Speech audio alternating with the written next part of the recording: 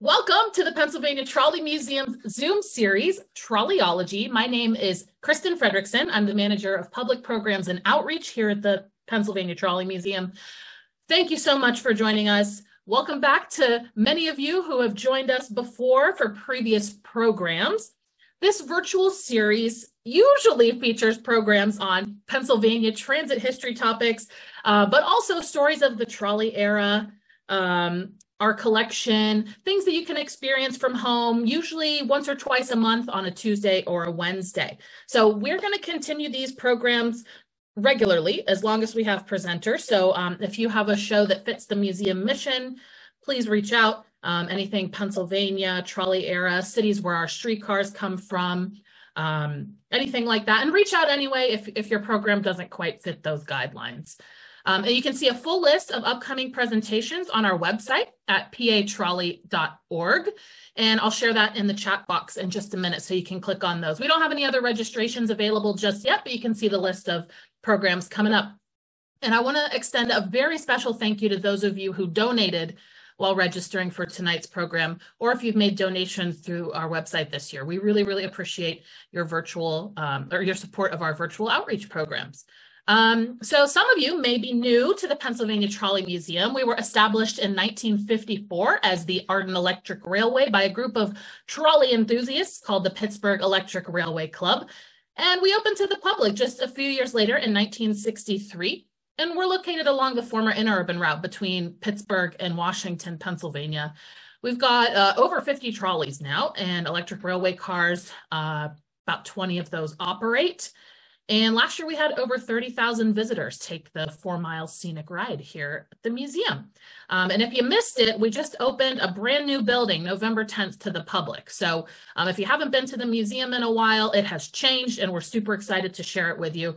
Um, in fact, we have a lot of interesting events coming up and we're open through the winter for the first time this year which has been going really really well. There was only one day where there was too much snow to open. So uh, chances are you'll get to ride a trolley year round now.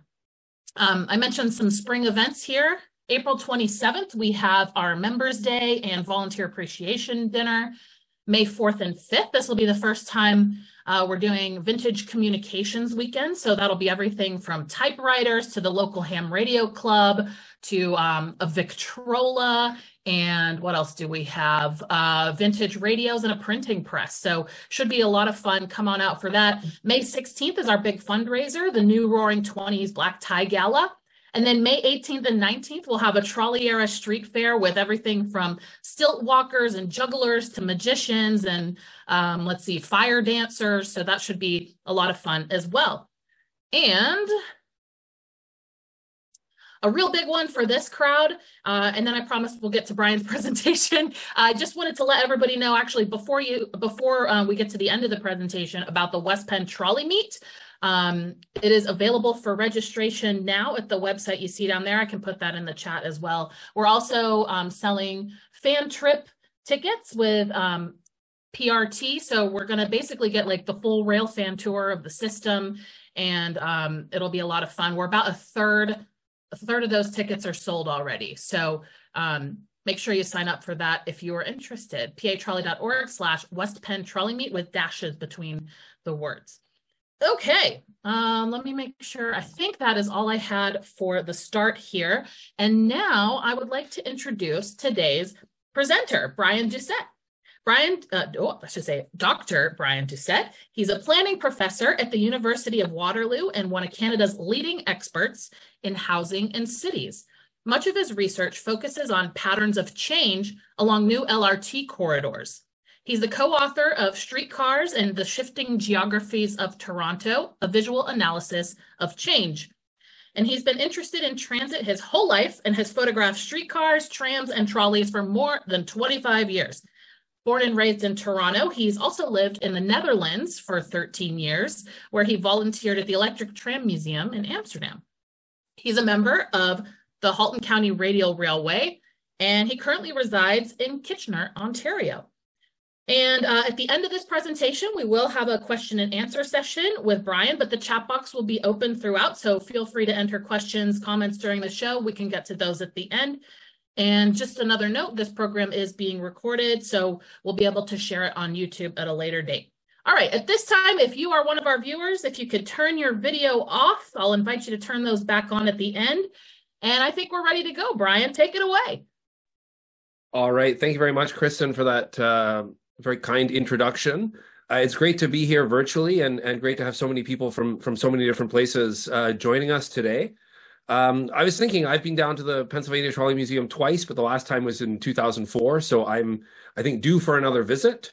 Um, and I was thinking, you know, what are some things that link, um, you know, the cities in Pennsylvania and and Toronto, where I was born and raised, and and one of them is streetcars and trolleys. Pittsburgh, Philadelphia, and Toronto were one of the few cities in North America that retain streetcars for various reasons, and I'll tell you about Toronto's experience with keeping the streetcar ultimately um, in in in a little bit. Um, so I want to get started here with get this up here. There we are. Um, and I was thinking too of, well, before we get into a few more similarities, just a little bit more about myself. So that picture there with the um, the subway was about five houses from where I grew up.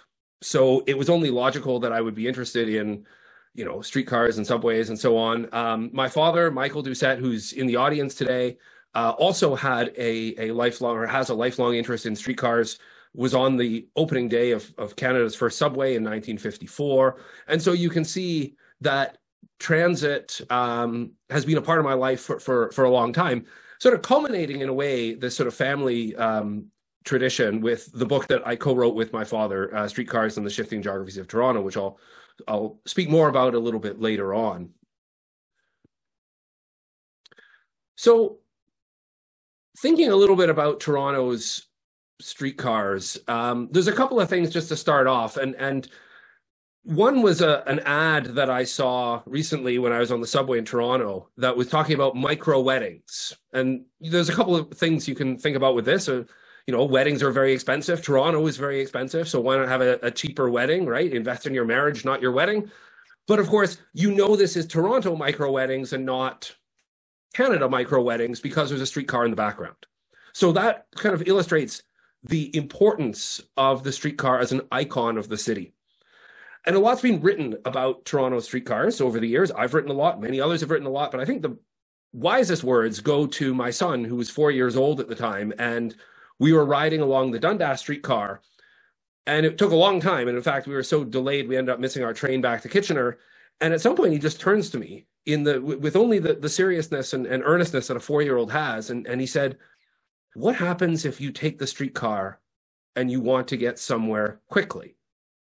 And I I didn't have an answer to that because streetcars in Toronto, they carry a lot of people, but they are slow. And again, I'll I'll explain more about that as we go through. So a little bit of where we are or where Toronto is. I'm I'm 100 kilometers, 60 miles west of Toronto in Kitchener at the moment, but we're talking primarily about Toronto. So Toronto is situated on Lake Ontario. Uh, it's the capital and the largest city of the province of Ontario. Um, we are north of Buffalo, um, and we are about a five hour drive from Pittsburgh.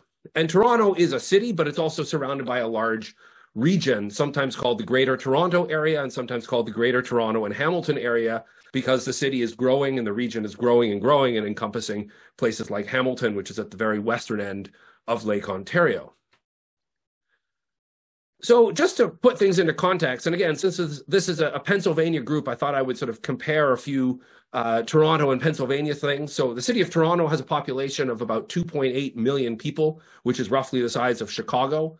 It was amalgamated in the late 1990s to get to that amount. And the pre-amalgamation city, which is roughly where the streetcars run and, and roughly the the pre-World War II city has about 800,000 residents in it today. In fact, more people today than at any other time in its history. If we take that whole greater Toronto and Hamilton area, we get up to about 7.3 million, which is about the same size as greater Houston. And if we include all the way out to where I am here in Kitchener, if we include places like Niagara, what they call the greater Golden Horseshoe, we're getting upwards of 10 million people, which is around the same size as, as Chicago, uh, the whole Chicago metro, uh, metro area. Comparison, city of Pittsburgh, 300,000, which is about the same size as Vaughan, which is a, a, suburb north of Toronto. The Pittsburgh region is about the same size as Metro Vancouver out on the west coast. Uh, and for the Philadelphia folks, the city of Philadelphia is roughly the size of the city of Montreal, a little bit smaller. And Metro Philadelphia is about the same size as that greater Toronto area if you removed Hamilton from it.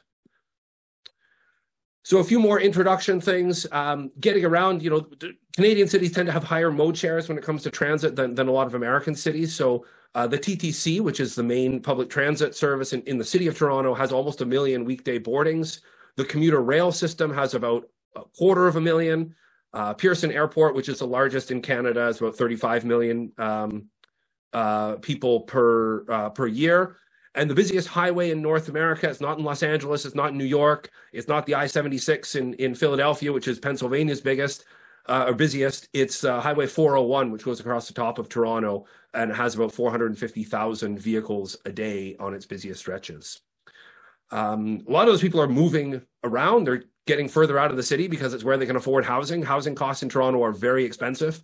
Um, to buy an average detached house within the city of Toronto would cost you now about 1.25 million, about 920,000 American. And you can see that even if you're buying a condo apartment, it's still um, about half a million bucks US um, today. And if you're renting, you don't find many deals either. Rent is very expensive in this uh, in this part of the world, uh, and only getting more expensive. So I'm a big sports fan as well. So good to you know just get some sports comparisons. So the Toronto Maple Leafs, second most number of Stanley Cups um, in in, uh, in in NHL history, behind Montreal. 13 of them. The last one won in 1967, and of course your Pittsburgh Penguins have won five. Your Flyers have won two, all since 1967. And most of us in Southern Ontario are not old enough to remember that 1967 Stanley Cup, myself included. Um, I have not known a successful Maple Leafs team uh, throughout my life. Baseball, well, a lot of success in Pennsylvania. Of course, the Pirates have won five, the Phillies have won two. The Philadelphia Athletics have also won five, although I'm sure very few people would would remember any of those today. And the Toronto Blue Jays won those back to back World Series in 1992 and 1993. And I'm sorry, I can't help bring up that home run by Joe Carter off Mitch Williams um, in that 1993 World Series, uh, which is the greatest moment in uh, in Blue Jays history. All right, let's turn our attention to to transit, and we're going to talk a little bit about the history of of Toronto Transit. Um, this just gives you an overview of the contemporary map, but we'll get into kind of the history. But before we do, I I show a lot of pictures. I tend not to talk about each one, but I tend to show a lot of pictures. So there's a lot of images in this presentation, um, and I hope you enjoy them. And a lot of them come from the collection, either the personal photographs or the wider collection of the late John F. Bromley, who many of you are probably familiar with. He took photos all across uh, Europe for, for many years, Toronto, Pittsburgh in the 1960s, and um, he passed away in 2019. Um, and I, I, have to thank his wife, Margaret Bromley, his widow, who is in the, I believe, in the virtual audience today, um, for giving me access to these photos, not just for things like this, but we're now working on a, a, a new book project that will take some of his his most important images and um, and show them to to a wider audience. So we're we're working on that, and we hope to be able to announce some things about that very very soon a lot of the more modern pictures were taken by most of them were taken by me and um, as kristen said i've been taking photos of, of streetcars for more than 25 years and um, i've noticed my photography has changed over that time especially in the last five or ten years where i'm focusing less on the streetcar as the central object and trying to photograph every vehicle or every different location and really trying to tell more of a story about this relationship between the streetcars and the places they run through. And so you you may notice this kind of change in my own photography as we go sort of forward in time towards the end of the presentation, where I'm thinking a little bit more about not just the vehicle, but how it fits within the wider city. Quick request uh, if you could move your mouse, Brian. Sorry. All right. Do you see my screen with the the participants and all that, or do you just see the mouse? No, I, I it was just the mouse, and now it's okay. off to the side. We're mouse good. is gone. Sorry about that. All right, so I want to talk about the the history of Toronto streetcars. Um, trying to move that out of the way. I get this banner that I kind of want to go away. There we are. Um, so, and I'm going to include a series of maps that were all made by uh, my friend Sean Marshall, who is also in the virtual audience today. And there's a QR code there you can scan to access his fabulous website, which has all these detailed maps throughout Toronto's history.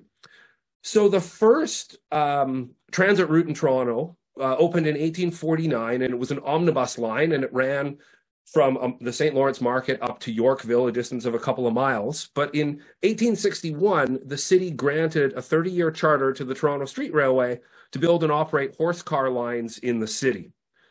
Canada's first um, street railway opened in, on September 11th, 1861. This was also when the TTC or the, the Toronto track gauge of four foot 10 and seven eighths was established. So, like Pennsylvania trolleys, there's a, a distinct track gauge separate from the standard gauge of four foot eight and a half. The system expanded in this 30 years as the city grew, and the city was growing quite quite rapidly at this time, um, especially after 1867 when Canada becomes a country and Toronto becomes the capital of the province of Ontario and quite quickly becomes the most important city in, in English speaking Canada. Still second place to Montreal, uh, but uh, an important part, uh, important city here in, in Ontario. The Toronto Street Railways franchise expired in 1891. Uh, the city briefly took over operations before passing assets to a new company called the Toronto Railway Company. The Toronto Railway Company was given a 30 year franchise uh, lasting until 1921. And a key requirement was that it would electrify the network within three years, which it did. It started converting horse cars to electricity in 1892, and the last horse car line ran in 1894. Now, the city grew quite rapidly during this period, largely through annexing neighboring communities. And that's important to, to understand what happened with this Toronto Railway Company. Gives you a few impressions of, of the city at this time.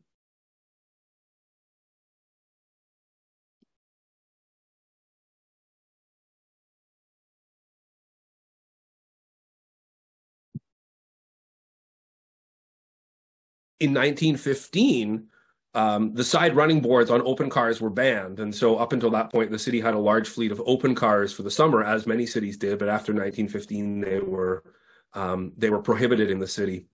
The Toronto Railway Company was not only the operator of streetcars; they built pretty much all of the of their fleet in their own shops, and most of them were fairly basic wood-bodied um, streetcars, dating from the first 10, 15 years of the 20th century.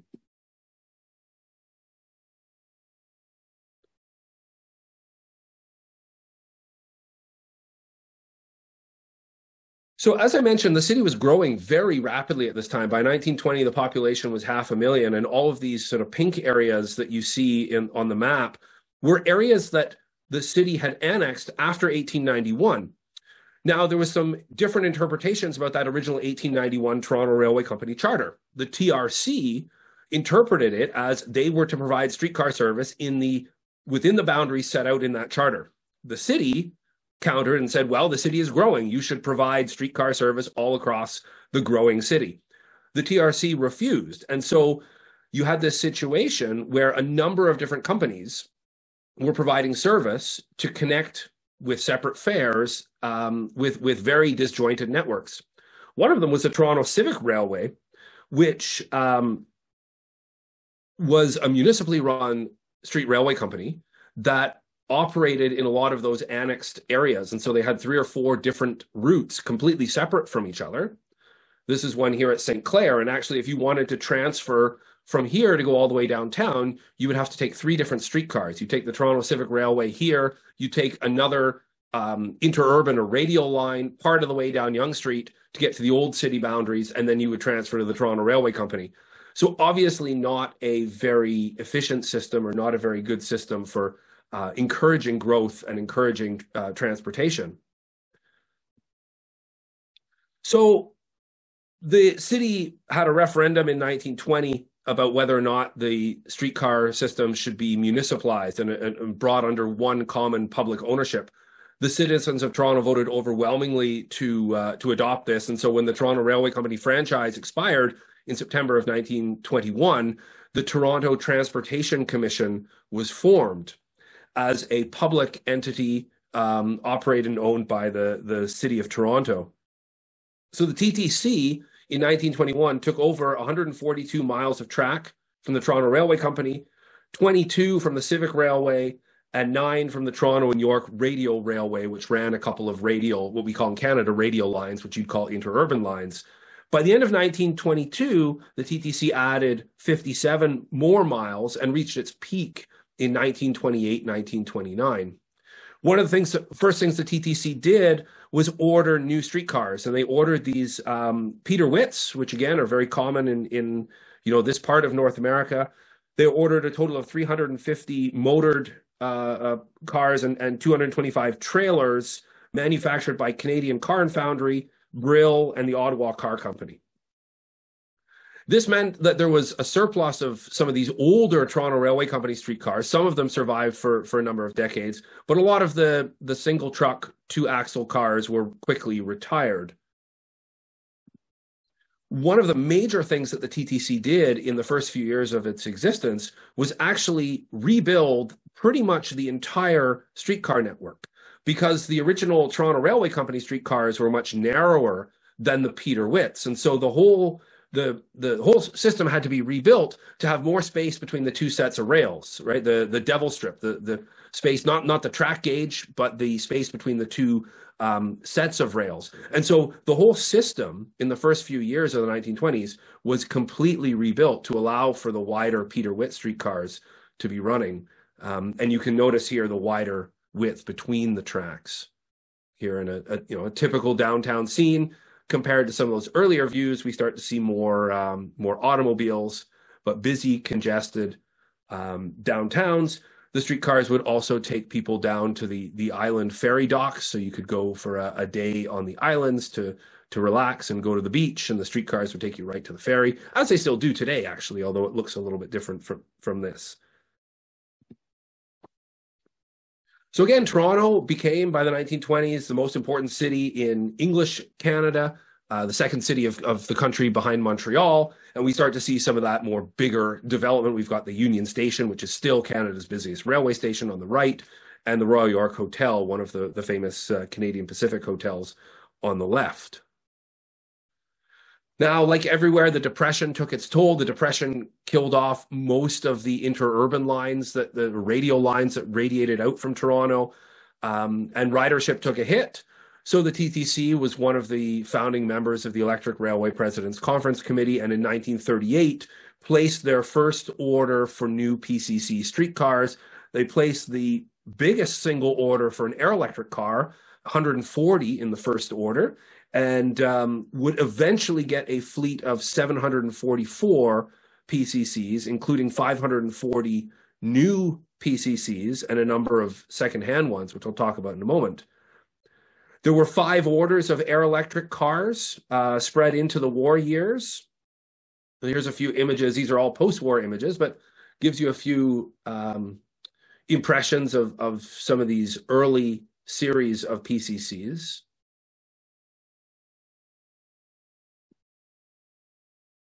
This building in the background is now um, Scotiabank Arena, where the Raptors and the Leafs play. It was a postal sorting station just south of Union Station. Um, and now streetcars run under um, under this on a, a new streetcar subway that was opened about 35 years ago. After the war, the TTC also ordered 250 um, all electric streetcars spread across three orders. Uh, the first two were 100 cars. Uh, the second of those, the 4400 series, they were equipped with multiple unit uh, couplers for MU operation, which they quite quickly uh, started operating on the, the Bloor Danforth route, the busiest, one of the busiest routes in the city. And in 1951, they placed one of the last orders for um, new PCCs uh, an order of 50 from St. Louis Car Company. Now, the PCCs in Canada or in Toronto, the body shells were made by St. Louis Car Company, and the final assembly took place by Canadian Car and Foundry in Montreal, and that was to avoid import duties um, in an era well before free trade. Now, these new streetcars coming in in the late 40s allowed for the retirement of um, the the last of the Toronto Civic Railway cars. This line in particular was converted to a trolley bus. Um, but we saw a lot, uh, the first kind of abandonments and, and conversions away from streetcars at this time. The last double-ended streetcars running on the city routes ran on Spadina, which was a, is a busy north-south route just west of downtown, which has got streetcars back since 1997. Um, but the last double-ended uh, streetcars were, as I said, abandoned in 1948. The last radial line, which ran north of Toronto up to a what is now a, a busy, bustling suburb, but was at that point a village called Richmond Hill, that was also abandoned in 1948. And in 1951, the last of the Toronto Railway Company wooden streetcars was taken out of service. One of one of these survives, or one of them survives in this form at the Halton County Radial Railway, number 1326, which was the one of the first two streetcars that the museum acquired, very similar to this one here in this picture.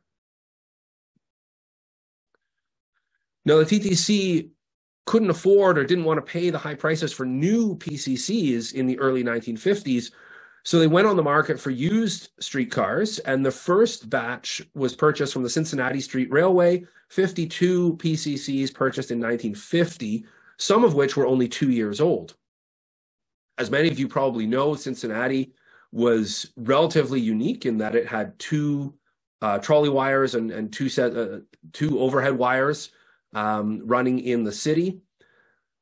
One was removed, of course, when they arrived in Toronto. Although you can see the the trolley the cowling the, the where the, the, bit on the roof there. Sorry, I forget the technical term. It's wider on these ex Cincinnati cars than it is in uh, on the rest of the fleet.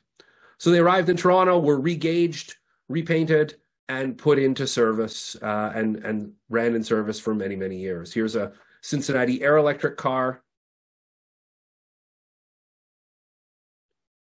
Another Air Electric Cincinnati with quite a quite a unique front, in my view.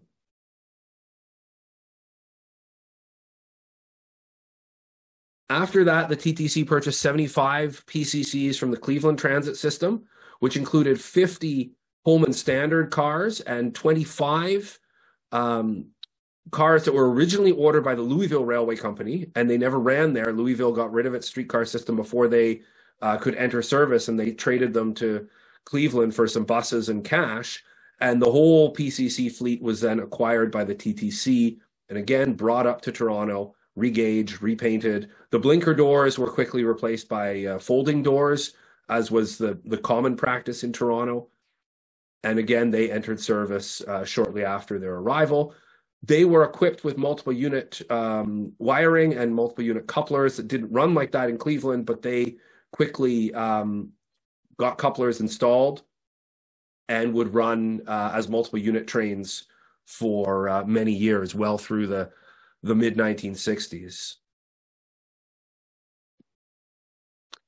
TTC still wasn't finished. A lot of American cities, of course, abandoning their streetcars at this time. And in 1952, the TTC purchased an additional 48 um, Pullman standard um, built cars from Birmingham, Alabama, the Birmingham Electric Company. Um, in addition to the repainting, regauging, and so on, the TTC had to get rid of the blacks and whites entrances, which were common of the Jim Crow South era at that time, and got rid of those before they could enter service uh, in Toronto. At this time, too, in the 1950s and 60s, the TTC ran these different classes of streetcar on different routes. And so these um, ex Birmingham cars would run a lot on Dundas and they would run on Long Branch in the very west end of the city.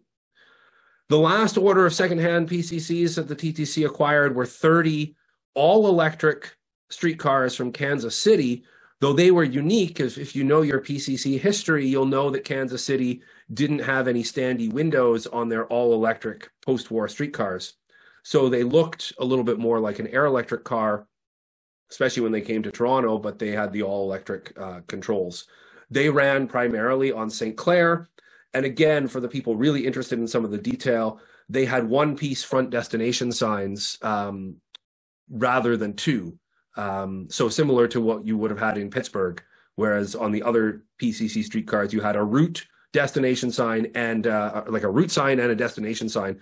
On these ex Kansas City, they were all uh, just one piece signs. So by um, by 1957, the, the, the, the, fleet had reached 744 cars. Um, 205 of them were used, and they didn't run on the busiest route. Um, the busiest route was the Yonge streetcar line, which ran north south. And Yonge, up until it was converted to a subway, still operated the Peter Witts with the trailers. Uh, about a minute headway, a very, very busy route, um, the main thoroughfare of the city. And these were what were called the original Red Rockets. One of the nicknames for streetcars in Toronto is Red Rockets. As you can see, they're all painted red. And these Peter Witts were the original Red Rockets and the kind of the icon of their day. But the route was so busy that um, it was decided in the late 1940s to to build a subway. And so in 1954, Canada's first subway opened about six kilometers, about four miles from Union Station. I showed you a photo of that earlier. And then making a turn left up Yonge Street and going all the way up Yonge to Eglinton to one of those later streetcar suburbs that was annexed by the city um, just before World War One. So again, serving the central spine of the city. This is also the year that the Toronto Transportation Commission changes to the Toronto Transit Commission, and it's the year of the regional governance structure in the city. So the uh, old city of Toronto, which you can see in this lighter yellow, is one of now several municipalities that form Metro Toronto, a regional level of government that was also tasked with providing transit.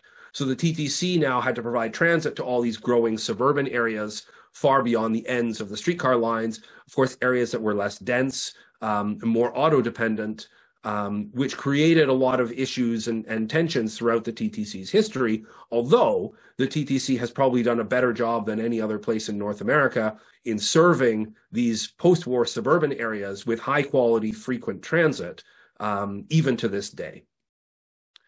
But we'll go back to 1954 when the Yonge subway opens. There were no um, TTC looked at a few North American street uh, subway manufacturers, but ended up going with the Gloucester Railway and Carriage and Wagon Company from England for the order for the original uh, Yonge Street subway.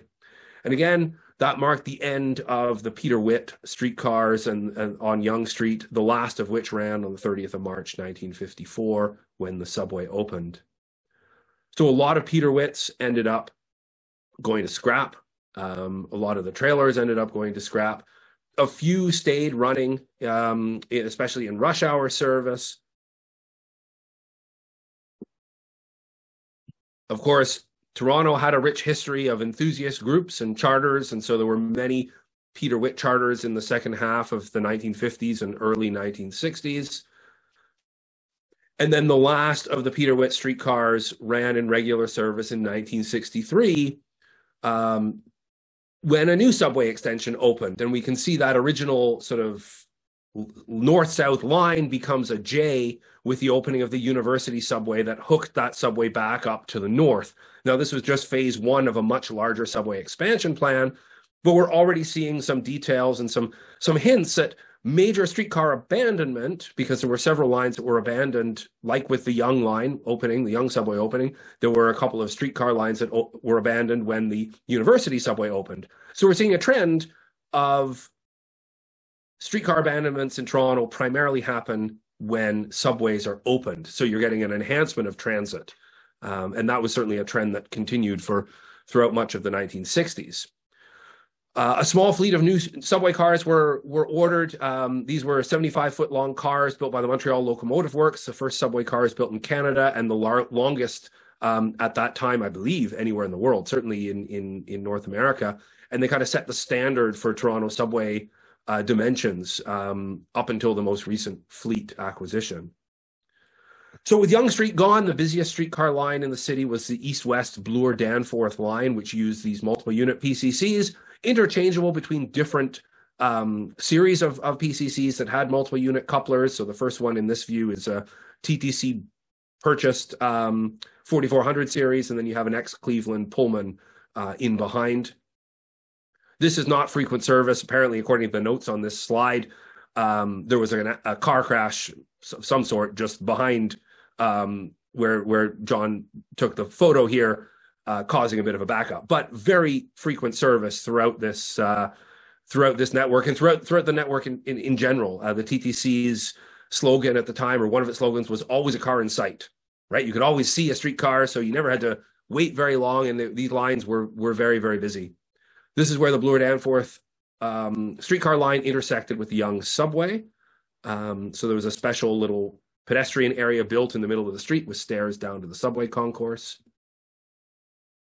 And you know, this period, sort of in the mid, early to mid 1960s, in in my view, was sort of the high point of kind of the transit enthusiast streetcar photography era because you still had a very large and extensive network, very well run, with a, a strong future, with a variety of different PCCs, pre-war air electrics, post-war all electrics, a variety of secondhand cars, and so it made for really interesting photography if if you know you're interested in PCCs and and street cars combined with you know ever more affordable film. Kodachrome is really starting to take off in this point.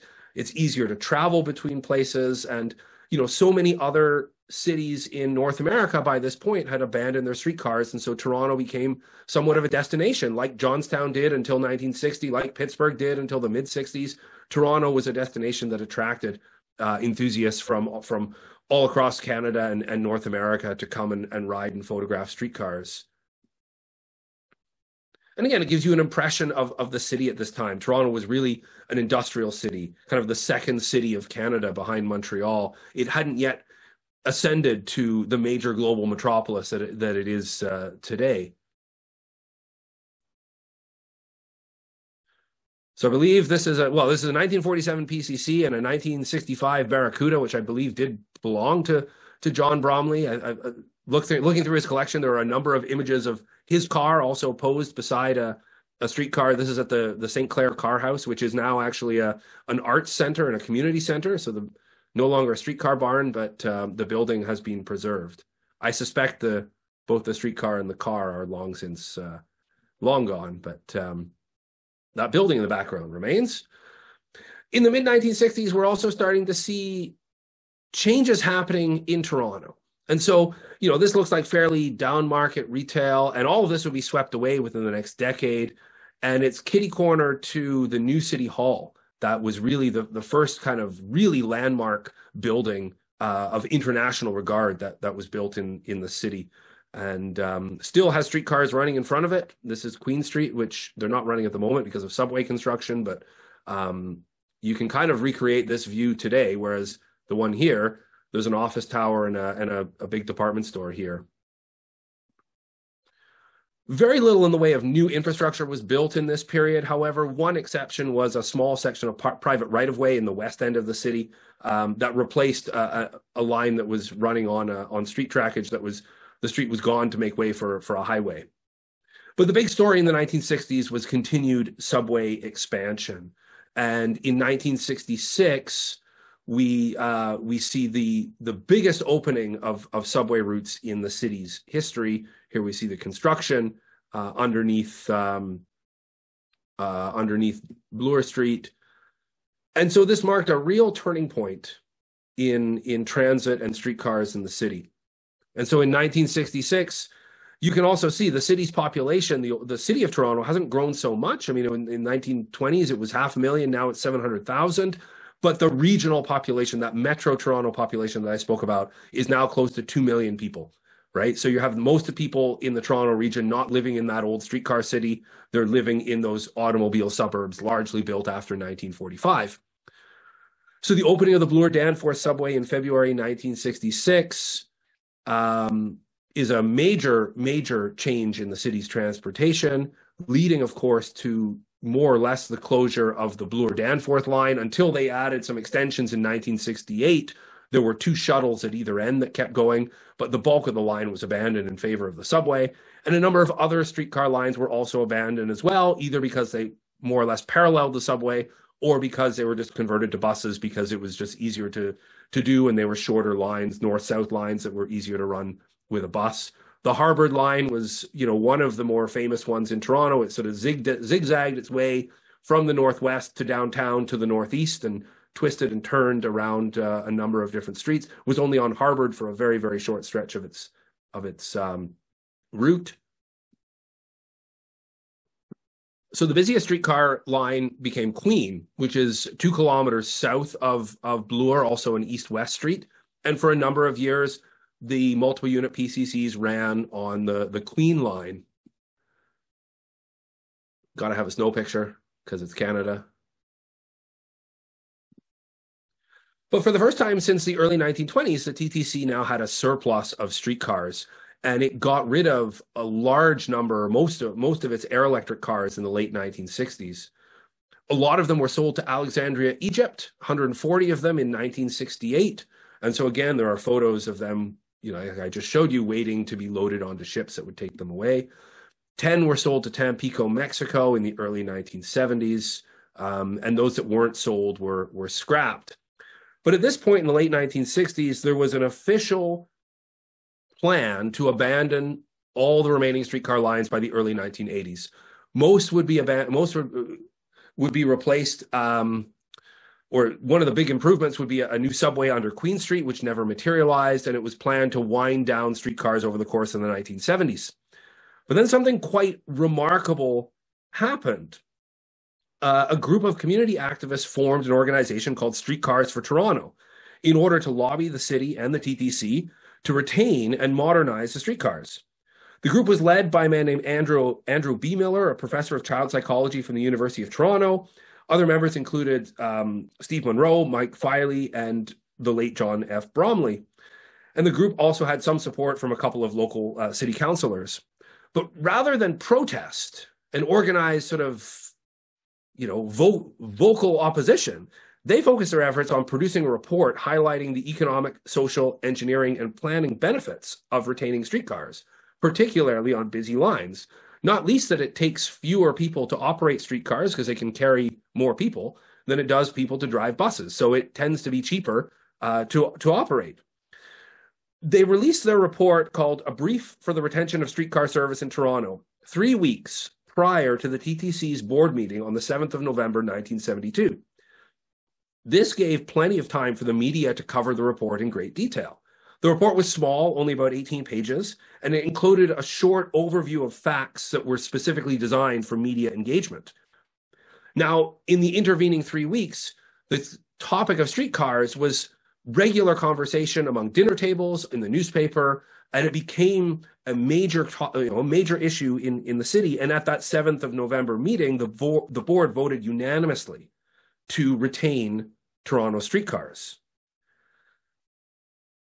This was just one of several important um, citizen movements in the city at the time others included stopping an expressway that would have run down Spadina uh, a city-wide network of residents associations opposed to the demolition of older neighborhoods and groups who successfully fought the, for the against the demolition of City Hall and uh, Union Station. And um, so it sort of ushered in a new era. And then the question is, well, what do you do? Well, a couple of lines were abandoned because they were more peripheral and they didn't didn't have very high ridership, including Rogers Road in 1974. Then the question is, how do you um, um, how do you modernize your fleet? Well, the TTC rebuilt 173 of its um, post war all electrics that it, it bought new uh, between 1972 and 1974. When they first were brought into service, they had these unique water bumpers installed on the front of them, which distinguished them from the unrebuilt models. And they were expected to extend the life until a new streetcar could be developed and ordered.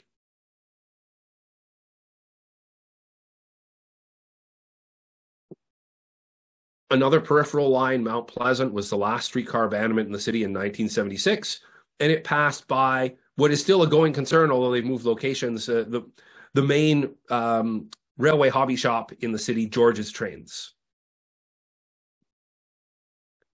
Again, the TTC had a surplus of PCCs, and so it sold a number of the secondhand cars um, to uh, cities in the United States, to Philadelphia, San Francisco, and Shaker Heights, and they continued to run some of them into the 1980s in those cities.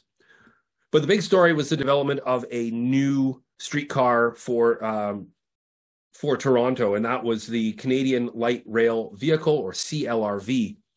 Six prototypes were ordered from the SIG group in Switzerland, and 190 were purchased from the Urban Transportation Development Corporation, um, based out of Thunder Bay uh, in Ontario. A prototype for an, uh, uh, an articulated vehicle emerged in the mid 1980s, and an order for 52 ALRVs, articulated light rail vehicles, was per, was was placed in the late 1980s and that meant the end of many of the PCCs. And I can remember as a kid driving out to um, my grandmother's house out in the West End, and we'd go past this St. Clair car house, Wychwood, as it's uh, sometimes known, and it was a storage area for dead PCCs, and there were dozens of them there at the time in the sort of early mid 1980s, um, awaiting scrap, and that was the fate of most of the the, the, the PCCs in Toronto.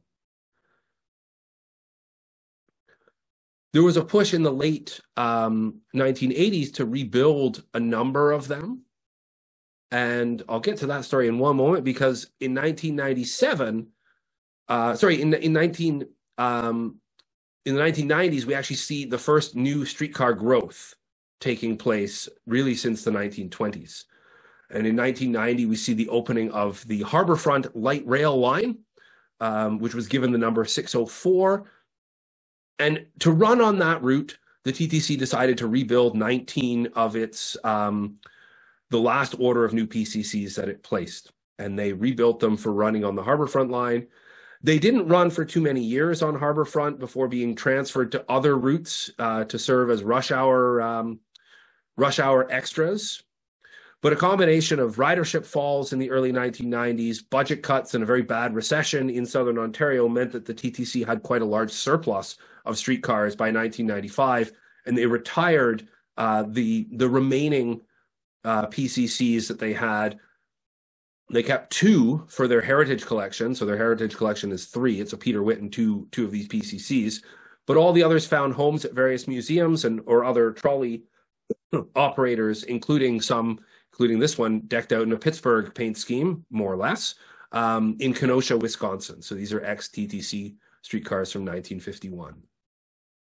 In 1997, another major line opened, the Spadina line. This is now one of the busiest lines in the city. So they brought out the, the heritage car for the opening. The Harbourfront and Spadina lines have their own private right of way, which I'll get to in a moment and, and explain how this is quite unique in the city. In 2000, there was a short extension between Spadina and Bathurst on the lake shore to, to connect two north-south lines, only about, what, about six, 700 yards, um, but created a new route, the 509, um, which sort of operated along the lake shore, along the harbor front, and then into Union Station. And again, all private right-of-way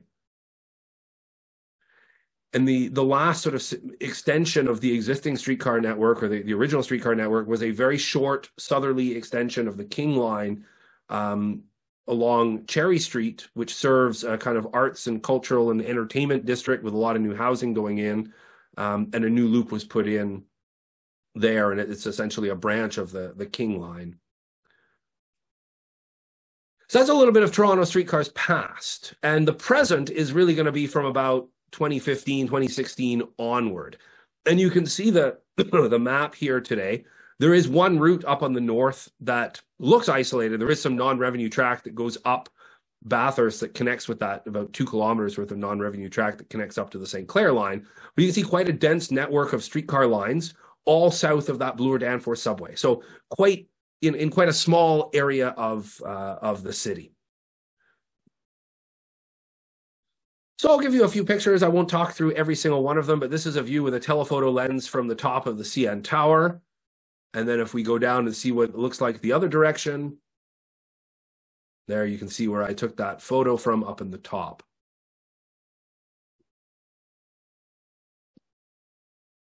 again, it's Canada. It's cold. It's winter. Not not so much this winter, but uh, this was a, an ice storm that hit, I believe, in 2004 or 2005. I remember photographing with my dad, and all the the, the overhead wires had frozen. Um, so you get this huge queue of streetcars not going anywhere fast. So these CLRVs, these 196, were were really the the backbone of the system for the better part of 40 years, and they were like the Peter Witts and like the PCCs before them. They really became the icons of the city. So full disclosure, I have never been inside Fillmore's Hotel. Um, I don't think it's a very salubrious place. Um, I don't know what the hotel is like. There's a gentleman's club inside. It's an interesting place, however, to photograph the streetcars because you always get an interesting sign uh, in front and you get this, you know, quite interesting building and you get the Fillmore sign and whatever sign they happen to be putting up. So this was number of years ago, probably around 2015, getting ready for the Blue Jays opener. Okay, this we'll come back to this site over time. More typical in Toronto is is this intense redevelopment. You know, the city is growing rapidly. It, it's growing upward. A lot of redevelopment, especially in many parts of the streetcar city. Not everywhere, but a lot of areas have, have seen a lot of, of change. The other big story in Toronto is that over the last 40, 50, 60 years, it has gone from being a, a, predominantly white, going back even further, white and British, but definitely white and European city, to one of the most multicultural cities on earth. Um, somewhere around half the population is foreign born. Um, half is what, what the Canadian census calls visible minority, which is not white. Uh, and you go out into the suburbs around Toronto, and, and, some of those numbers are even higher. So a very, very multicultural city, um, and and um, you see that in some ways less and less along the streetcar network, but um, you see a lot of older immigrant reception areas where new immigrants would come into Toronto, dotted throughout the streetcar network. Another unfortunate, iconic thing or typical thing in Toronto is waiting for a vehicle to turn left right? The hundred or so people on that streetcar are just waiting for this big truck to to turn left. And that's very typical of the Toronto streetcar experience even today.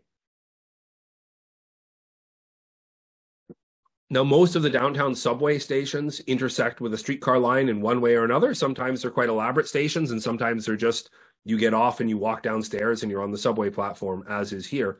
And again, you can see this uh, sort of big downtown um, this picture is now several years old. That statue has been moved to a park in behind, uh, but you can see the CN Tower, you can see the Art Gallery of Ontario, um, and you can see the uh, Ontario College of Art and Design, which has quite a unique building put on top of their existing building, which again is one of the landmarks of the city.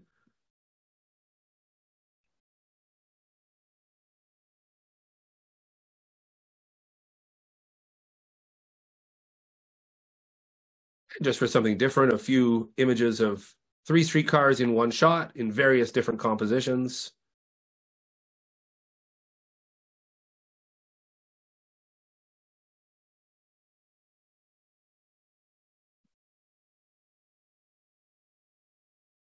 This was the site of a former brewery many years ago. Now condo is very typical of this is along the waterfront, very typical of of those parts of the city.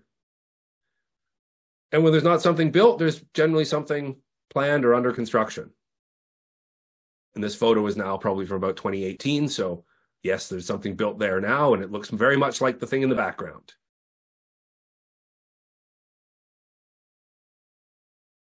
At one time, I'm not sure if it's the case now, but at one time there were more construction cranes in in, in Toronto than than anywhere else in, in North America.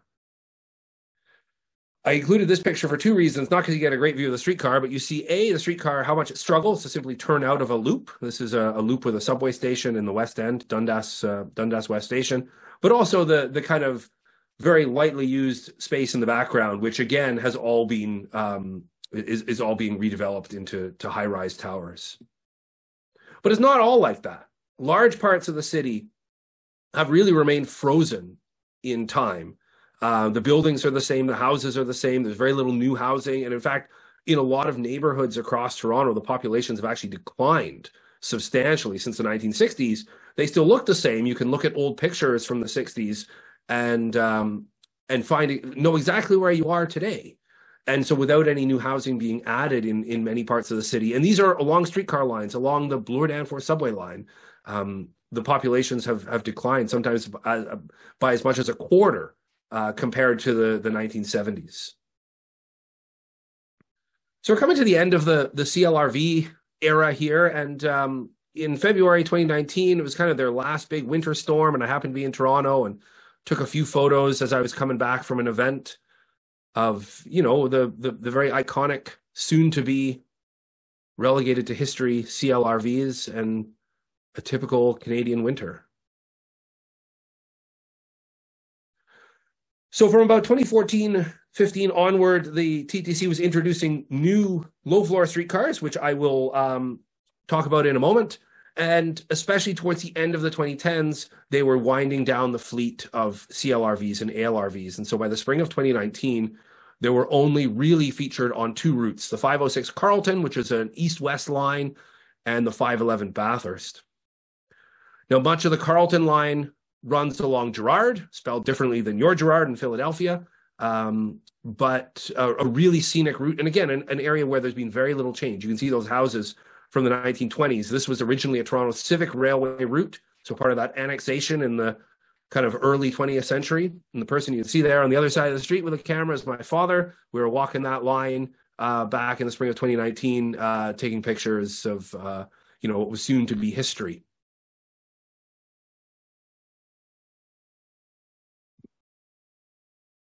We are indeed here. I guess we can get some coffee there if we, if we so chose.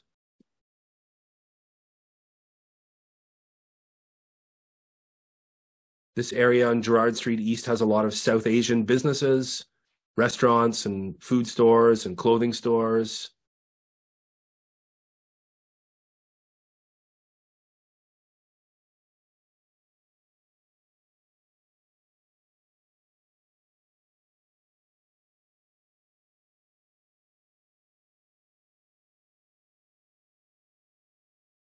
Large public housing, the first big public housing project in Toronto called Regent Park, which is actually um, there's there's two streetcar lines that run right along the edges of it, so it's actually very well connected. Is being has been is being completely redeveloped, so all this old public housing being demolished and sort of mixed income, mixed use housing putting back in a lot more density uh, than what was there before, and that's a, a long project that's been going on for for well over a decade now. So this is where the college, the 506 and the 511 college and, and Bathurst lines intersect. And so this was the last spot in the city where you could actually get two of the two streetcars, two CLRVs on different routes. Again, in kind of late 2019. But by um, later in November 2019, there was only one CLRV route left, and that was the 511 Bathurst, the north south route. Not a particularly long route, and a route that I got to know really, really well because I spent a lot of time in that in those final weeks and, and even days um, walking up and down the line, photographing the, the streetcars and looking for, you know, the final images of, of them in the city. Now, we've seen this building before, might not have clocked it, but that's what it looked like about 20, 2011 or so. It was completely taken apart brick by brick by brick, a new sort of bit put on top and then completely reassembled. And now there's a grocery store in there. It was an old food warehouse, and now it's um, offices and there's a grocery store and there's a bunch of condos all around it. So Bathurst gives it was an interesting kind of cross section of the city. You had very gentrified areas, you had some higher end retail, but you had some, you know, lots of new development, but also a lot of just ordinary places that kind of hadn't really seen much change happening. So it's a fabulous place just to to spend a lot of time and walk around and I'm still not sure what I'll do with these photos. I think there's probably a book in there somewhere down the line. Um, but I just really enjoyed sort of going around the city at, at, at that moment uh, when these streetcars that I grew up with were were about to to to be retired from service.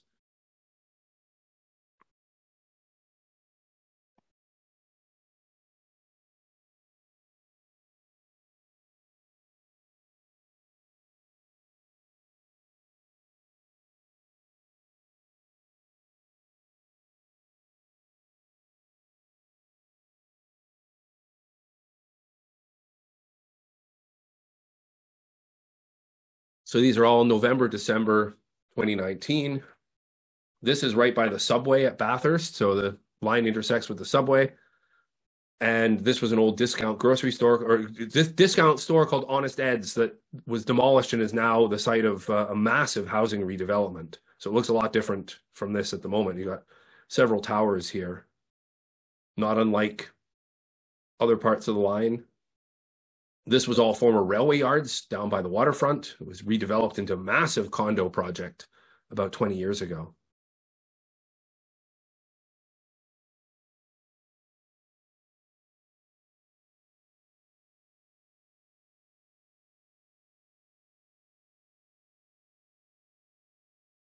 And the TTC did acknowledge, you know, that the end was coming. And on the 28th of December 2019, it was the last day of regular revenue service for the CLRVs. Uh, uh, ran a number of them on Bathurst. And so, you know, I was joined by a lot of other enthusiasts taking pictures, going out for one last ride. And just, you know, at this point, I had photographed this line so extensively that I just enjoyed riding up and down. My dad and I rode around together for a while and um, you know really just enjoyed this this last moment of uh, of you know these streetcars and the the turning of the chapter in in in Toronto's transit history. Stayed out relatively late. There were a number of folks that that did stay out till the very last ride and and ran it back into the car house. That was a little late for me with having to drive 100 kilometers all the way back to Kitchener. Um, but I did take a number of night shots again on the very the very last evening of uh, of CLRV service. It wasn't a great evening either. It was kind of drizzling, and you know, and of course we got to get the the iconic Tim Hortons coffee and donut shop in the in one of the pictures, right? I think we're required as Canadians to to to include that in any kind of presentation, one way or another.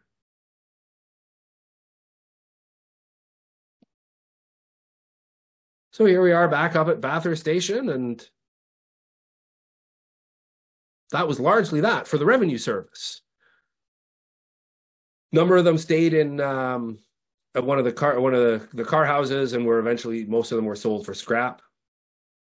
But the next day, 29th of December, there was a farewell parade organized by the TTC. And again, you can see horrible weather, but a lot of people came out to have one final goodbye. And actually, my my son, who was not even two at the time, they were running this, the CLRVs on Queen Street just as, as kind of shuttles and we managed to board the last westbound shuttle streetcar of, of the CLRV. So that was that was uh, good fun, and we came to this loop, and then they assembled a number of streetcars, including this one that was was painted up in the final years of of CLRV service as a kind of ode to the to the streetcar, um, and painted up, and and um, then there was a final parade back, and uh, this was my last CLRV photo in Toronto. And it's quite special for me because I'm holding my my one year old in one arm. I got the camera in another. It's raining. The streetcar is turning, and then that was that. Then I think we met the rest of the family and went back home. Um, and that was the end of that era. But you know, it's not the end of the streetcar in Toronto. It's really just a chapter. And the current system is, you know, it has real problems and real challenges, not all of which have to do with the streetcars, but it carries a lot of people uh, today. So this is just the the TTC's map of of the the rapid transit lines. So again, you can see those streetcar lines are all largely concentrated south of the the, the east west subway, which they now call Line Two. I had to include this shot, right? The guy's going to play shinny hockey um, somewhere. There's a there's a rink just a couple hundred meters away, walking past a streetcar. I had to had to include that. So today there are um, nine streetcar routes that uh, carry about uh, 180,000 people a day.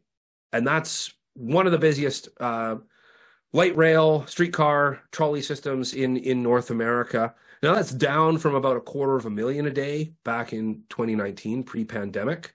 Uh, and these this image actually is is pre-pandemic. Some of these are you know a range of pre, during, and post-pandemic. Um, the the TTC uh, streetcars are back to about yeah about 65 ish percent or so of of uh, of the pre-pandemic boardings. Again, you get different statistics coming in different places. Uh, the buses have almost fully recovered. The bus network, as I said, they serve a lot of busy areas out in the in the suburbs, um, and it's about 75 percent for the for the subway. four of the five busiest streetcar routes in the city are, or sorry, sorry, four of the five busiest surface routes in the city are streetcars. Oh, we've come back to Filmore's. There's their slogan. This was somewhere in the middle of the pandemic, or their their sign there, and you can see actually this was a pretty down, down and out part of the city, this eastern side of the downtown. But already in sort of 2020, 2021, we're seeing uh, quite a lot of redevelopment taking place. So there's big condo tower going up right across the street from this fairly down market hotel and and uh, gentlemen's club. So all the streetcar routes in Toronto are numbered in the 500s. I'm not entirely sure why they chose 500s, why they distinguish them from bus routes, which just have regular numbers. Uh, but that that originated in the in the early 1980s. So you get your 501, 502, 504, and, and so on. Um, and the current fleet is operated by 204 of these Bombardier Flexity Outlooks, which were all introduced between 2014 and 2019 and there's an additional 60 that are on order. Some pandemic. Sidewalk patios were a big thing here, and they still are going fairly strong. Um, another interesting thing, because again, you've probably alluded that the streetcars are really an iconic part of Toronto, Even you know, not, not just history, but but today. And so there are dozens of murals across the city. I think my father has photographed every single one of them that have a streetcar in them in one way or another. And here's one in a neighborhood at the end of the 501 Queen line called the Beach. It's out along the along Lake Ontario, and you can clearly see the streetcar in that mural there very prominently.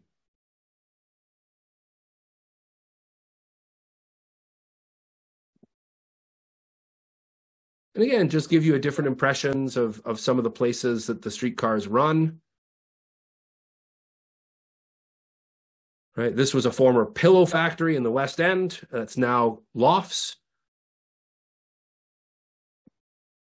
If any of you are familiar with the, the sitcom Kim's Convenience, which I think traveled quite well outside Canada, um, it was set in a in a convenience store and the outdoor locations or the outside shots of the of the convenience store were were filmed here at an actual Kim's Convenience on Queen Street East. There are a few underground portions of the streetcar network. When the Harbourfront line opened in 1990, there was a small subway running south from Union Station, essentially down to the waterfront. Then it turned right and then ran along the surface. So there are two underground stations on that portion, and that line was linked up with Spadina in 1997. And at Spadina Station, at the north end of the line, it, the route kind of forms an inverted J. At that north end, there's another underground station as well to loop into the subway. Another stop where the St. Clair line in the north, when they built the western leg of the Yonge of the of line one, when it reached St. Clair at it's called St. Clair West Station, they built an underground turning loop for the streetcars to allow easy transfer to the subway. The integration between streetcars and subways is generally pretty good. There are a number of stations.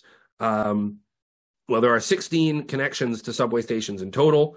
Three of them are underground, and five others, like this one here in Broadview at the in the East End, are part of the fare paid area, so there's no need to transfer. I mean, we don't really use paper transfers anymore, but you can just get off the streetcar. You're you're already in the fare control area. Just walk down the stairs and get on the subway. This is all being rebuilt actually at the moment. This station, so there's a number of diversions. But you know, if you think of like if you take away the buildings and the tall buildings and all that, and you just look at the street, actually very little has changed. And I'm sure you could see pictures of Pittsburgh and Philadelphia where you swap out these low floor cars for, you know, various color if you're Philadelphia or red and cream if you're uh, uh, Pittsburgh PCCs. And actually, the basic things of this network would be quite familiar to people in 1960s Pittsburgh, 1970s Philadelphia, right? There's a lot of street running. There's only three routes that use private right of way. Um, or four routes. Sorry, one only uses it for a little bit. Um, three routes are are more or less complete private right of way, and the rest predominantly use on street running. The stops are relatively basic. A lot of them. This is a streetcar stop. Uh, you probably wouldn't notice or wouldn't think that this is a stop that has on a line that has thirty or forty thousand people riding on it every day, um, and you get on and off like you would have done hundred years ago, getting on and off those Peter Witts. Now you can do it with all doors. It's all proof of payment. Um, so there are often fare inspectors at the subway loops, right, to check that you haven't just got on the streetcar without paying, and then you get off, and then you can go into the subway and ride wherever you want for free. Um, but the streetcar system is all proof of payment. And again, I mean, there's still a lot of parked cars on these streets. Um, you know, for for better or worse, the merchants like them because it it means people can park close to their shops, but it does really limit a lot of the speed and the the reliability of the streetcars. So I'm standing here at a streetcar stop, and in fact, you'll notice that Tesla in that picture has a parking ticket on it. So um, the owner just went in to get a sandwich, if I recall, and then came back. He got the parking ticket and he just sat in his car and ate his sandwich. Um, but the streetcar is just in mixed traffic, you know, coming towards us as fast as the traffic is moving. And then it pulls up, and then all the doors open. People get on, people get off. There are signs saying, do not pass open doors. Most of the time, that's adhered to. I mean, Toronto drivers know this, but not all the time, right? And and this is an issue, and it doesn't take much for for something to go wrong for people to blast past these open doors, which again happens. Now people get on and off, and again on a street like this, it's pretty tough if parked cars to to zoom past all this. So moves along at a leisurely pace, and the doors close, and the streetcar pulls away, and that's how Dundas and College and Bathurst and Queen largely operate. When the um, the Flexities were intro- introduced, they all had trolley poles. And in fact, it took a number of years for the overhead wire to be fully rebuilt for pantographs. So, as far as I know, somebody might correct me, but as far as I know, it is more or less all pantograph operation now. Um, but you can see the overhead has the different um, different systems for pantograph and for a trolley pole. And there were a number of lines, including the busiest line, King, up until relatively recently, used trolley poles. Which can get complicated because especially in the downtown core there is a lot of track. There's a lot of non-revenue track and again this would be pretty familiar to 1960s pittsburgh i think. A lot of different streets that had track that you could loop around. Very few streetcar routes in toronto actually loop around the downtown. They run through it but um, lots of options for short turns and diversions everything you see in this picture is non-revenue right and that just gives you an impression of of the the busyness of it. Sometimes this non-revenue track, like here on York Street, is used for regular, like for a, a, long scheduled diversion. They're doing track work, so they just run them on this non-revenue track. Sometimes it's just to get around an accident or to short turn a streetcar.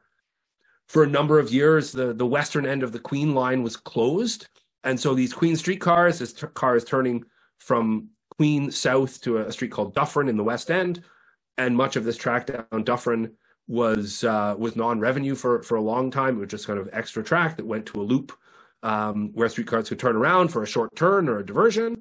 And um, the King line uses this to a large extent now, and it's also been very handy when track work has meant you have to re- cut back routes for for a, a good length of time.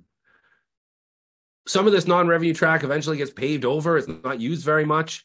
Uh, this is Adelaide Street. There's two two one-way streets downtown between King and Queen, Richmond and Adelaide, and the non the non-revenue track there on Adelaide in particular just basically got paved over. However, there is a new subway and metro that's being constructed that's going to run under Queen Street for a bit, and so they've had to put this track in to facilitate what is going to be many years, four or five years of a diversion around Queen Street in the downtown core because Queen Street is closed for um, for any for everything. So the streetcars, the Queen Street cars, are having to divert, uh, and when this track is finished, they'll be able to continue along their route rather than having to basically short turn at either end of the downtown.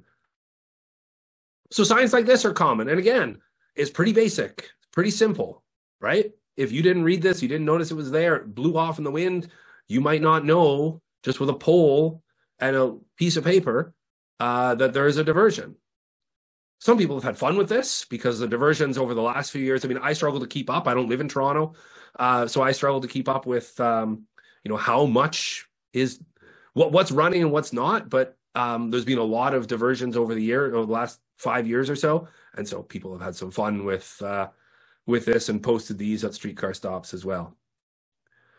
Another real, I guess this is a real challenge with the streetcar network and having it run quickly is the single points switches um, that again look very similar to what the TTC would have installed 100 years ago when they rebuilt all the track. Some of them are electrically operated, but some of them are not, where the driver has to come out with the, the, the sort of steel poker thing and, and manually flick the switch, drive around, and then go back and flick it back so the next streetcar can go straight through. And even when intersections are being rebuilt, they're still rebuilding them with single point switches, um, which seems a little bit unfortunate because streetcars go very slowly, especially these big heavy ones, through these switches. And so this can actually really slow down. You know, you've got a, a route like Spadina that has intersections with about five different streets that have streetcar tracks and switches. It really slows down a journey on what should be a pretty fast route. I unfortunately don't have too many pictures of the, the car houses today. This is one of them. Roncesvalles in the West End.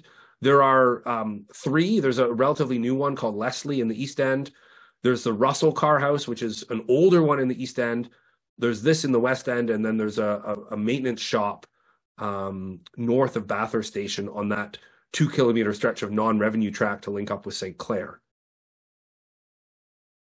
There are three grand unions in the in the network where you can turn all ways possible. Um, this is Queen and Spadina. This is about 400 yards south at King and Spadina. And then this is about 500 yards west of that at King and Bathurst. And again, a lot of these switches are used. Not all of them are electric, where it has NA and the arrow pointing above there on the overhead, that indicates it's an electric switch, but those would only be switches that are used relatively frequently.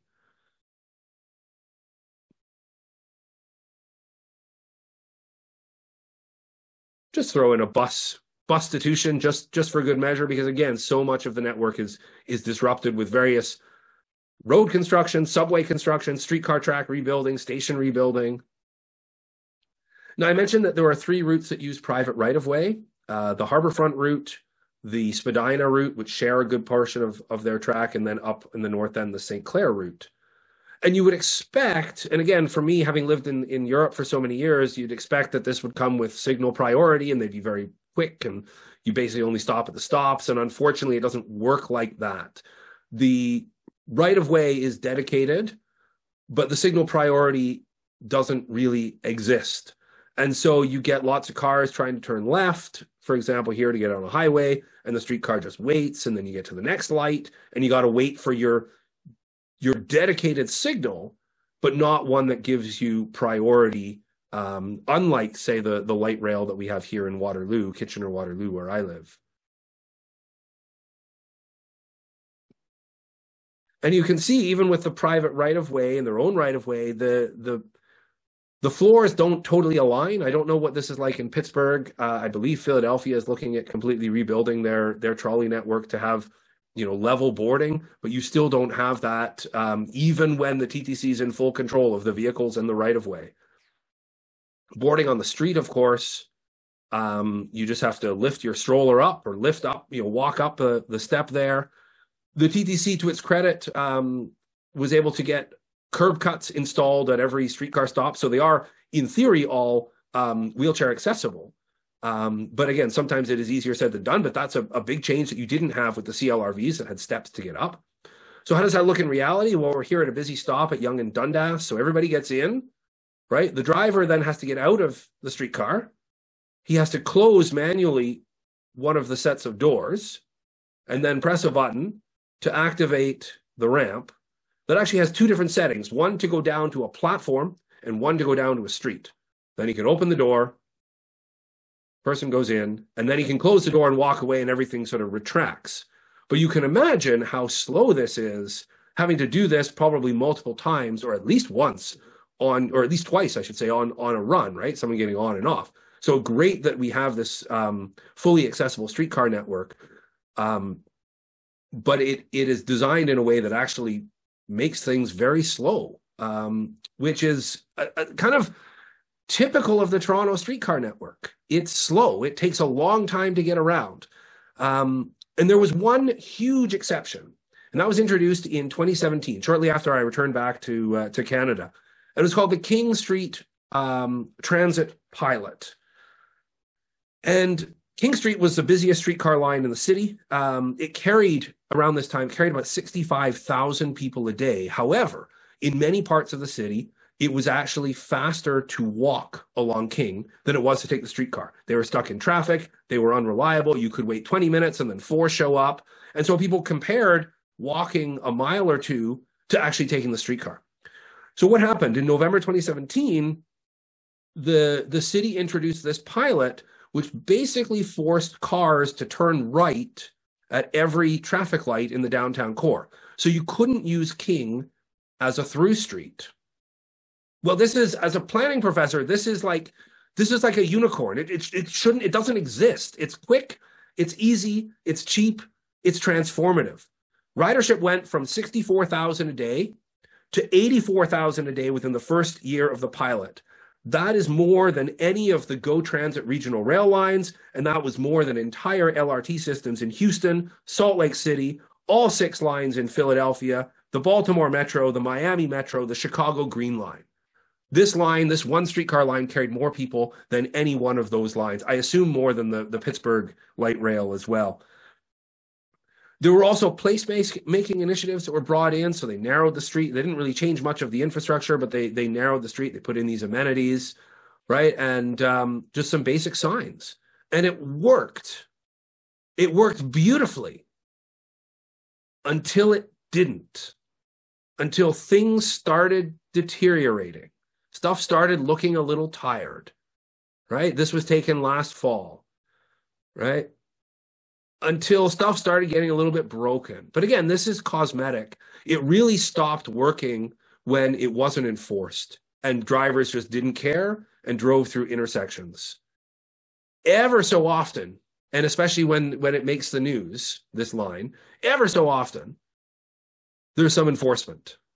So anyone who who follows this stuff, whenever they're on King and they see, you know, a police officer pulling someone over for driving through, gives a big a big cheer because you know, really this stuff should be automated, but um, the enforcement has been very, very patchy. And King intersects with all these other different streets as well. So this is the the King Street pilot, the King Street Transit Priority Corridor. You can see the sign saying you can't drive through there. Well, this driver has just said, "Screw that! I'm going to drive through." But the bigger problem here is actually all these cars that are trying to turn right to go onto Spadina. So King and Spadina, another grand union for the streetcars.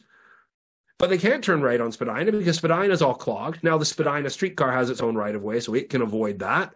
But if you can't get through the intersection, you can't turn right and you can't really get past the streetcar that's waiting to to go through the intersection. You got to wait. I mean, this was like this series of photos is probably about 10 minutes, right? This guy gets through. Now we can look down. You can see the next block. There's a streetcar over there. But look at all the cars trying to turn right and look where they have to go. And there's this is there's a lane that's closed here for construction.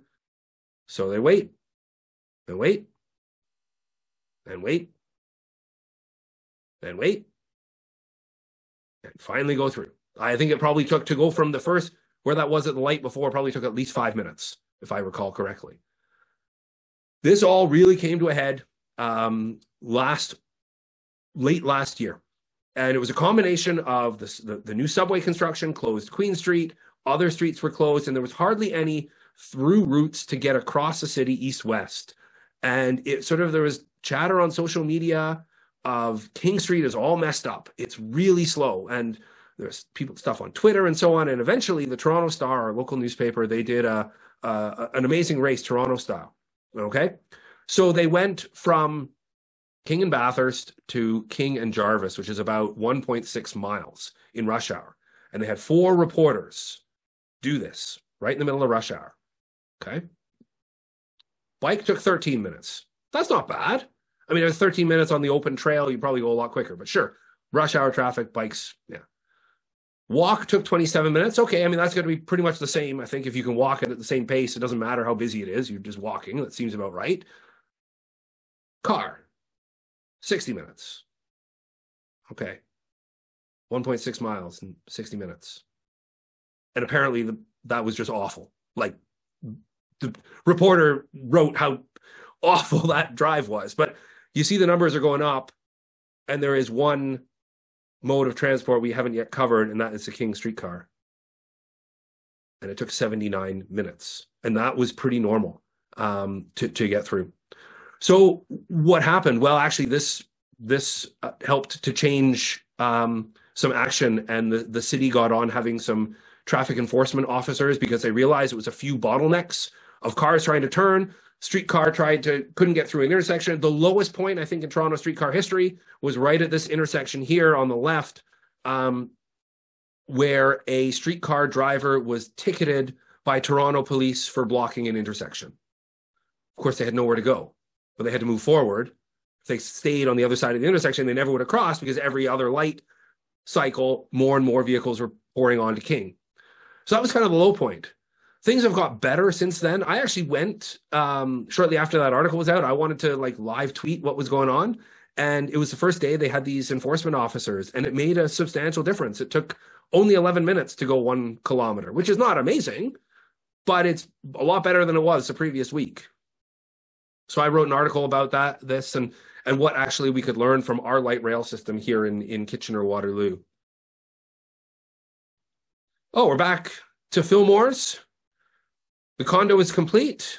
The rumors of their closing have been greatly exaggerated, and they say our girls are waiting to see you tonight. All right. Um, so a lot of this, you know, uh, for me is is a combination of hobby and and and academic interest, and it it culminated really in this book that that my father and I wrote called Streetcars and the Shifting Geographies of Toronto. We made a little trailer here that you can watch. Um, in in the if you sort of scan the QR code there. Um, and in this book, we looked at old images of the city, kind of like we've been doing in this talk, and we we compared them with the same views. We reshot those same views, and we looked at them to understand how the city was changing and why. And you know, we had a lot of fun putting the book, together, and it was a, a, really interesting project. We did end up selling a copy to the the former now former mayor of of the city um, at an open house that the TTC had at its Hillcrest shop there, and you can see two of the heritage cars in their collection um, there. And we had an amazing launch at a, a, place called the Spacing Store, which you're ever in Toronto, you're ever up here visiting, and you want some streetcar memor- streetcar merchandise, whether it be a T-shirt or a, a toque or anything like that. Um, do do check them out. They're a fabulous store, and um, they have all sorts of amazing Toronto things. And then academics are not generally not very good at like selling our books and promoting what we you know promoting some of the work that we do. But if you are interested in the book you can scan this qr code and you can buy it from the uh, the u of t website. So i don't want to take up too much more time. I want to just talk a little bit about the past in terms of the halton county radial railway which is a streetcar museum that i'm proud to be a, a member of um, which has some similar history to the pennsylvania trolley museum. It's located actually between where i am here in kitchener and, and toronto um, on a former interurban line that ran to a city called Guelph. You see the first two cars in their fleet, numbers one and two there, the 1326, a Toronto Railway Company car, and 55, a Toronto Civic Railway Company car. And the museum has a mile and a quarter of track through the countryside um, with rides not all year, but uh, through the the kind of you know the warmer months of of the year. They are very dog friendly, as my own dog will uh, will will attest. Uh, the museum has three of the the last series of rebuilt PCCs that um, that the TTC undertook that were retired in 1995. Um, this one, 4600, is operational. One of them is a nice ice cream parlor when you get to the other end of the line. And yeah, it's it's a it's a great museum. So if you are ever up in this part of the world, you want to check out Toronto's transit, um, do make a trip up to the Halton County Radial Railway. It uh, it's a fabulous little museum and has been going strong since uh, the 1950s. I want to talk just to round off about the future because there is a lot happening here. In fact, there's more subway, light rail, heavy rail, uh, regional rail expansion in southern Ontario than there is in any other part of North America. And a lot of it is happening very fast, and a lot of it is happening very slow. Um, there are three light rail lines in the Toronto region that are now under construction. The longest um, duration of which is Line 5, which is a crosstown line, which is going to run two kilometer, four, let's say four kilometers, two and a half miles north of line two. Um, and it's going to connect with line two at the, the eastern end. These pictures are now a few years old. This line should have been opened a number of years ago, but um, due to some construction issues has, has been delayed. The vehicles are all there. A lot of the testing's been done. Most of the infrastructure is complete. And in fact, the majority of this line is going to run underground in, in tunnels It's going to be 19 kilometers, 25 stations. It's going to be standard gauge. These new light rail lines are going to be standard, not the TTC gauge. Um, and it's coming with a lot of redevelopment uh, taking place. It's going to use the same kind of Bombardier uh, LRVs, similar to the Flexities, but a different model, but the, very similar to, uh, basically identical to what we have here in Kitchener Waterloo. So again, you can pass by the yard and the vehicles are all there. We are hopeful that it might be this September, but they're not giving any kind of announcement date at the moment. But you can see, I mean, this looks more like a metro. Here it emerges from the tunnel.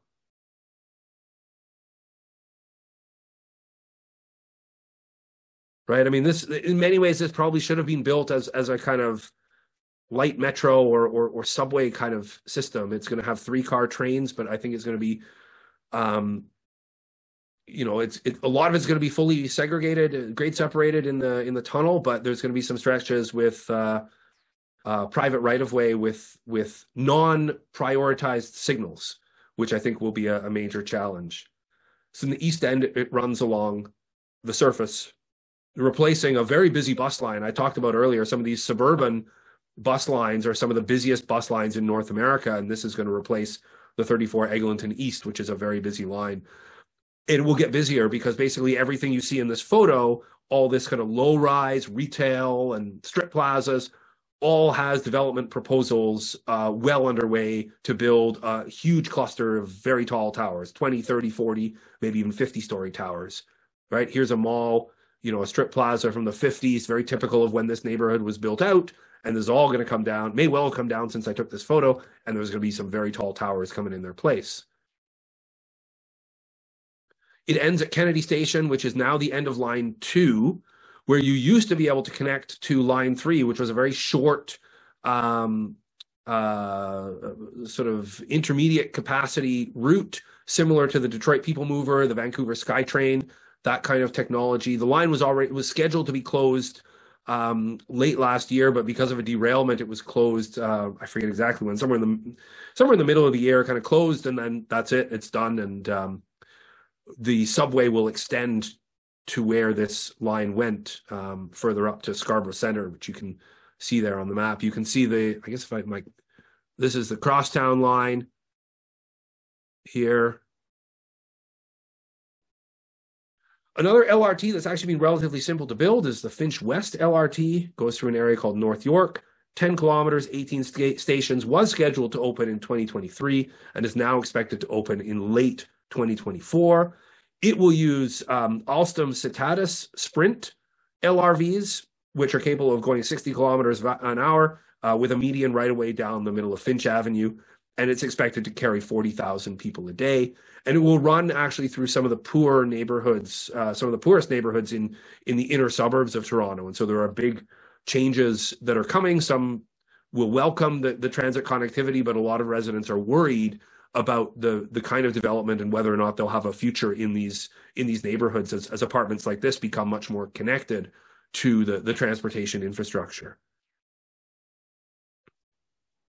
Where are we going next? Ah, we are going to the west of Toronto. West of Toronto is a, a large city called Mississauga. It was originally sort of a kind of bedroom community suburb of the city, but now it is a, a full size city in its own right. And there is an 18 kilometer standard gauge, 19 station LRT line connecting um, from a, a, GO station, a, a commuter rail, a regional rail station at the southern end all the way up through actually running into a neighboring city to the north called Brampton, um, which is a, another kind of large community outside the city of Toronto. It's actually the ninth largest in, in Canada. Um, so again, you think of like typical suburban landscapes that are now going to have light rail running right down the middle of them. And, you know, these typical houses, you know, you take away that tall condo and this could be kind of any North American suburb and what we're seeing is again, we've got a strip plaza here, and then coming soon to this location, condominiums at Bristol Station, right? So there's a huge amount of redevelopment taking place, um, even in advance of these lines opening. Um, and Mississauga, you know, people often say, well, it's a suburb, but Mississauga as a city is bigger than Seattle. It's bigger than Denver. It's bigger than Washington, D.C. And now likely, because San Francisco's population is declining quite rapidly, now likely larger than San Francisco. So we're not talking about a small place. We're talking about a very large, I mean, this skyline would be, um, you know, would not look out of place in most North American cities, right? Um, you get further away from that Mississauga downtown and you get into that sprawling warehouse. We've got an Amazon warehouse that you'll be able to take the light rail to. Um, but it will be a very busy line and will continue to bring a lot of development and, and change along that corridor. The big, big project in the city of Toronto, it's not a streetcar or a light rail, but I thought I included as well, is this um, Ontario line, which is going to run it's it, it's a an idea that's decades old, and the idea being that you know you had a lot of people transferring at that Bloor Yonge station, and if you if you needed some sort of relief line to get people downtown in a different way, and so the origins of this go back forty or fifty years, but it was only um, well within the last five years that this project has has started and moved ahead, and construction started in 2022. It's expected to open in 2031. It will feature automated trains um, you know, full uh, platform doors and all that kind of thing. The trains will be smaller than the current subways. It'll use overhead wires and a combination of tunnels, railway alignments, and viaducts. And for our purposes, it will connect with nine different, um, er, nine of its stops will have connections with the streetcar network, including uh, where it starts in the west at Exhibition, where you can also connect with these GO trains, these regional trains, and the streetcar loop just in behind here just thought I'd throw in a, a, via train for good measure. So this area is all changing now, and you're getting this big interchange station that's going to be built where you see those platforms in behind a major interchange. If you're coming from the west, you have a number of different ways to get across Toronto. So it will run through a lot of these streetcar areas that we've seen. So this was taken a couple of years ago. Uh, the intersection of Queen and Spadina on the west side of downtown, a grand union for the streetcars, and now serious construction for the Ontario line. There'll be a stop here. It'll run right under Queen Street across downtown, hence all the disruption on Queen. Right? This hoarding is for a new station. We're moving now to the East End. It will connect one of the largest sort of post industrial sites in the downtown core, this former Unilever plant, uh, a big new area called East Harbor, which is going to have an Ontario line stop, a, a train station, and a ton of other things coming in over the next few decades. And even here, I mean, this is an area in the east end of the city where the buildings are the same as when the Toronto Railway Company built the line out there in the 1890s. Most of those buildings are still around. And right here now, there is going to be a, a major junction with the Ontario line, which will actually benefit people on the Queen streetcar. They can take the streetcar to this stop and then take the Ontario line to get downtown quicker, or vice versa. So it will really connect a lot of places uh, together. If you want to buy carpet from this carpet mill, I think you have about three weeks to do so before this building comes down. The line is going to run along this railway alignment and then cut across diagonally across the photo to the bottom right, and then go into a tunnel uh, to go up to the northeast of the city. And again, areas like this are going to change dramatically in the in the years ahead, especially along the main thoroughfares. And you're already seeing, even before, I mean, this line's not going to open until 2031, but you're seeing a lot of development proposals shaping up. Just very briefly, I want to quickly um, round off here, but I do want to show you some of the regional rail, GO Transit. It is one of the busiest regional or commuter rails in, in North America and is rapidly changing from uh, inbound to the city in the morning to outbound in the city in the uh, outbound from the city in the afternoon towards two-way all day. It's a big bone of contention out here in Kitchener. We don't have that two-way all day yet, um, but some routes are going to see as much as a, a train every 15 minutes. And if you want to go down to the western end of Lake Ontario to Hamilton, Ontario, uh, which is about a, just over an hour ride, you now have an hourly train uh, both ways all throughout the day until until late at night. And Hamilton is also hopefully maybe getting a light rail line. Uh, it's been on again, off again. It's been talked about for decades. Um, it was canceled, and then the federal government stepped in with money, and now it's on again, but no construction has started. Um, but you can see Hamilton. Hamilton actually has a lot of similarity to Pittsburgh. It's a steel manufacturing place. You can see on a on a clear day, you can see all the way to, to Toronto, about 50 miles, 40, 50 miles away. Uh, two steel plants still in existence. One not make, making not so much steel.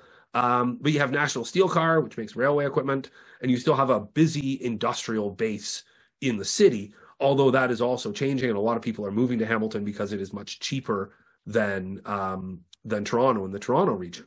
And so the light rail line, if when let's hope when it gets built, it is going to run through a lot of different neighborhoods in the city. It is going to connect the university with the downtown and run through, um, you know, a lot of neighborhoods actually that are are right now, you know, struggling with, um, you know, fairly entrenched poverty, which also raises some questions of what's going to happen to the residents and the buildings um, when all of a sudden this this this new transit comes in. And we've been doing some research in, into that.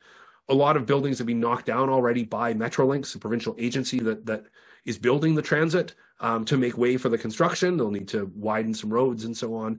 Um, and finally, last but not least, I want to take you here close to home to Kitchener Waterloo because I think we have, and I've gone on record in saying this is the best transit line in Ontario. And um, I think it's one of the best in North America. We have a 19 kilometer light rail line that opened in 2019. It uses 15 of these Flexity Freedom LRT uh, LRVs, which will be similar to the the Eglinton line in Toronto. Um, and it it's a fairly basic system. It was built, vehicles included, for three quarters of a billion dollars Canadian, and you wouldn't get very much for that today. And it's it's not uh, overbuilt like some light rail systems are. You can see how it fits into the surrounding parts of the city. And one of the things that it has done is it has really catalyzed the growth and investment along this transit corridor. We have a growth boundary in our in our region where you can't build endlessly out into the countryside, and that was done deliberately to encourage, combined with the LRT, to encourage new growth to take place within the existing urban area, so we don't continuously sprawl out and out and out. Um, and it, that policy has been very successful. There's been about five billion dollars worth of investment along this line, three billion of which was made before it even opened. This former skate factory, if you know Bauer Skates, they were made in this building now. There's a restaurant and a grocery store, and you can see the towers springing up in behind. A shoe factory that's been turned into condos. Kitchener, the city in particular, was was very industrial. The biggest tannery in the British Empire, uh, now an off, uh, office for a bunch of tech companies. Uh, Google has a big office in a former tire factory just around the corner here. We're still a fairly suburban uh, region, though, so it runs through these very suburban areas, and it does, in fact, connect one shopping mall in the north with another shopping mall in the south. But in between, it goes through a lot of different places and, and serves a lot of communities and is used by about 20,000 riders a day and will eventually be extended to the city of Cambridge, which is just south of here. And it will use some of the right of way of the old Grand River Railway, which was an electric, one of the last electric interurban radial lines in Canada ran until the mid 1950s, and some of this right of way will be reactivated for new electric trains, which is very exciting. Back to Filmore's one last time. This was taken a couple weeks ago. I was walking around to see some of this development taking place, and okay, there's the sign, but the more interesting sign in front on the side is this development proposal. So the days of that building are probably numbered as um, a new development is likely to take place there in the not too distant future. Very quickly, a bonus. Um, as I mentioned at the outset, I've had the privilege to be working with the archives of, of the late John Bromley. And I'm working on a new book project that will take some of his most important, most interesting images from Toronto. He made 40, more than 40 trips to Europe starting in 1967 to photograph trams. Uh, and of course, Pittsburgh. He photographed the city extensively before the big abandonments in the, the mid to late 1960s. And so I just thought, since this is a Pennsylvania group, um, we'll just end with a few nice images of uh, of Pittsburgh that I think are probably familiar to a lot of you. The Fineview line, of course. It's been a real a real pleasure going through these photos. And you know, I don't know loads about the city, but I, I know uh, some of the history of the the streetcars and the the broader city and and just sort of comparing to some of these areas today like here in McKeesport you know very very different and really thinking about like what is what is photographed in these images and it's it's much more than the streetcars themselves right it's much more than just the vehicles the vehicles are fascinating i find them all fascinating but there's so much more to uh to looking at these than just you know these PCCs and and everything else about the cities and the surroundings in which they ran in um, are, uh, are, are really fascinating.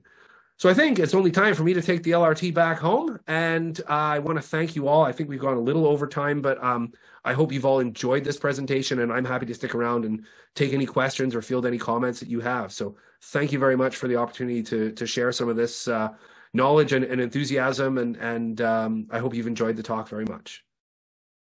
Thank you so much, Brian. That was uh, very informative. Uh, lots and lots of questions came in throughout the show. So um, if you want, you can take a minute to scroll through some of those, but I will, uh, I'll pose them to you in just a minute here.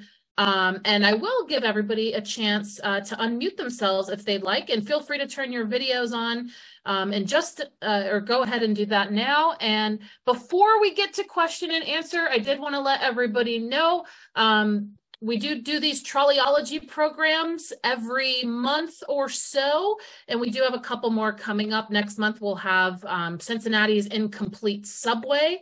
And then um, actually kind of same time period as some of the photos you just saw april 1971 pittsburgh streetcar scene and from david warner. And then um, in june we'll have a uh, kind of world war ii themed presentation and uh, uh, later in June, we'll have, um, inspired by our Twin Cities PCC program earlier this year, the second career of the Twin City PCC cars that went to the New Newark City subway. Um, so thank you uh, again, Brian. Thank you everybody for joining us tonight. Let me uh, make it so folks can unmute themselves. But in the meantime, um, I'll start with the, the first question that, that popped up um, you may have answered this, I can't remember, but do you know if there's any documented reason for the broader gauge uh, in Toronto? I know there's like all sorts of myths about these things. Yeah, I mean, I'm I'm not sure. I've heard different things as well. Um, there may be people in the in the in the call that know. I mean, I I don't know. Some of it has to do with freight. Some of it has to do with wagon size, but I'm I'm not sure. I was trying to find some information about that today, actually, just because I sort of anticipated that would be a, a question coming from a, a state that has a an odd uh, track gauge for their right. urban rail. But um, yeah, sorry, I can't give you the definitive answer because again, sometimes hard to f- separate the the myth from the the fact. Sure, sure. Um, and then uh, on, I think one or two of the maps we saw trolley buses um, on there now, uh, were those like streetcar replacements, or were they intending to replace the whole system with trolley buses? But then those left in the early '90s, I saw. Uh, what, what's the deal with the trolley buses? so there were two. There were two networks. One was very brief in the 1920s, um, and it was just basically an extension from the the streetcar. Um, oh yeah, okay. So sorry i've seen a comment here i'm going to come back to that question because sean marshall has actually confirmed what i thought was also right because i didn't you know i was like i didn't get it fully confirmed but yeah so sean wrote it was a, to allow wa- uh, wagons to fit the inner part of the rails which mm-hmm. goes back to 1861 which was okay. what my i didn't want to you know go out on the recording and say it because i but yes sean unless we're I, I can't imagine sean would be wrong but um so there's the answer to that question. Sure. So there's a brief um, trolley bus route in the in, in, the early 20s, and that was eventually replaced by an extension of the streetcar. The main trolley bus network starts after World War II, and it does replace some of the peripheral streetcar lines. Mm-hmm. Um, it does a couple of things. So routes like Weston, which was a radial line, became a streetcar line, uh, and then became a trolley bus line. Um, it also uh, extended routes beyond where the streetcar tracks were. Um, and so, for example, when the Yonge subway was opened in 1954 it didn't go as far as the Yonge streetcar did. And so the remaining section was replaced by a trolley bus. And then another line was added that's basically formed a U going east and west and then north to connect to some newer areas being built. Okay. Um, so it was never intended to replace streetcars with, with, with trolley buses entirely, although that happened on some routes. Um, and then the system, like a lot of things, it kind of suffered from lack of investment and, and um, in the late 80s and into the 90s, and then that bad recession in the early 90s, and the cost of replacing them, and and so on. It, it just they were abandoned in in the early 90s. Um, but at that point, too, there were two separate networks. There was the one in the north end of the city, which had three routes, three or four, four routes, depending on the time. And then there was the main network that was kind of in the western part of the of the uh, of the city um, that that had some north south and some east west routes as well. Okay. Um, let's see what else popped up here. Uh, some of the questions people asked were actually answered by other people in the chat, like does the TTC offer tours? Uh, and someone said that occasionally there are uh, open doors uh, Toronto where where I guess they have uh, some open house type thing type thing. Um, do you know of any other like transit related walks or shop tours or charters or uh, things like that? So, so occasionally the TTC will open up some of its facilities. We have a, a big program. I don't know if you have it in the states called Doors Open, um, yes. which is you know it's run by the the city, and they have all sorts of different locations that are open uh, on this Doors Open weekend. And what like like everything has kind of suffered from its own success. It gets so busy. Um, but I've been to a few, and I've taken my my my kids, and and there's an abandoned station um, when they built that university line. The there there was a ability to go both east and west on Bloor Street to connect to this Bloor Danforth subway, and so the two stations on either end had an upper and a lower platform. And St. George in the west, they're both in use. Bay on the eastern flank, the lower portion only operated for about six months and then it was closed. And so there's this ghost station that uh, a couple years ago, my son and I we got to go and, and go on a little doors open tour um, so they do that. They have a, a, shop as well, like a TTC shop. You can buy some some memorabilia and and things like that. Okay, very nice. Um, and then let's see, we had a question about the CLRVs uh, that I think was also answered, but about them being saved. Uh, any of those being saved for yes. future fan trips or you know other uses. Yeah, again, somebody somebody who's you know able to g- check on the internet at, at, the moment and put it in the chat can probably tell you the details. The TTC has has a, a small collection they've kept. Halton County Radial Railway has a number of them, um, including a couple that are that are operational, and I believe some have now ended up at some American university or American museums. Um, that was the that was the plan as well. But the TTC does have some. I guess their heritage fleet is now more than um, more than three. For a long time, it was the one Peter Witt uh, mm-hmm. and two PCCs, and now it's got a, a, small number of of CLRVs. Now, I don't, I'm not in Toronto as often as I used to be, obviously, but I have not seen one on the streets since yeah. 20, 2019, since I showed you that last picture that I took. So I don't know how regularly any of them oh, will get. Uh, Brian, it's uh, Rob, Rob Lubinsky here. The apparently hey, the there's a, I guess the, they're pending installation of pantographs on yeah. the historic cars to operate them on the overhead. So I think right now they can sort of operate around the loop at the Hillcrest shop. Um, and that's about it. So there's two CLRVs. One is one of the Swiss cars that was used on that last day, uh, that last day tour, and one of the Canadian built cars, uh, and one ALRV that's hiding out at the Roncesvalles uh, car house. There we go. There's the answer. Someone always going to have the answer on a call like this, right? Absolutely. Uh, and then let's see what else. Uh, we had a question about the the frequency of the cars once they switched to low floors. Um, did that change with the introduction of the low floors?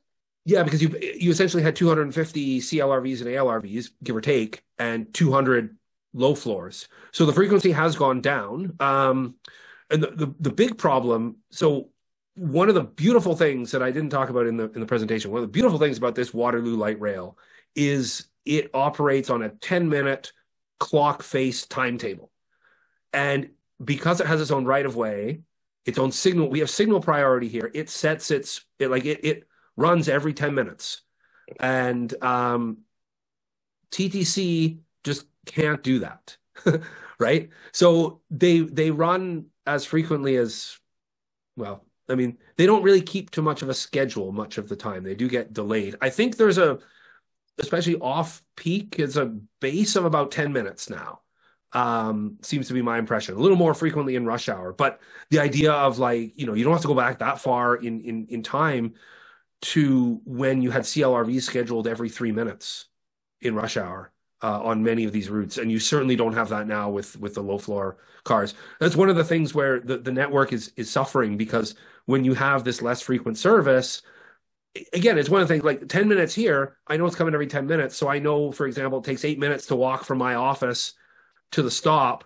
So I know I can leave every, you know, I know every 10 minutes I can leave at the same time and I'll get there and I'll, I won't miss it and it won't leave early.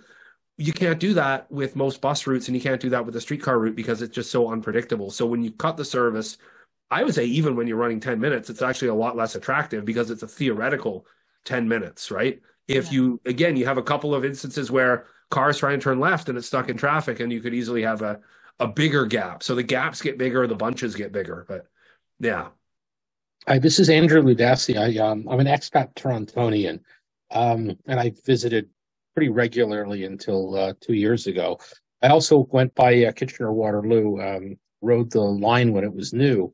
Um, my comment about Kitchener Waterloo is it's very slow.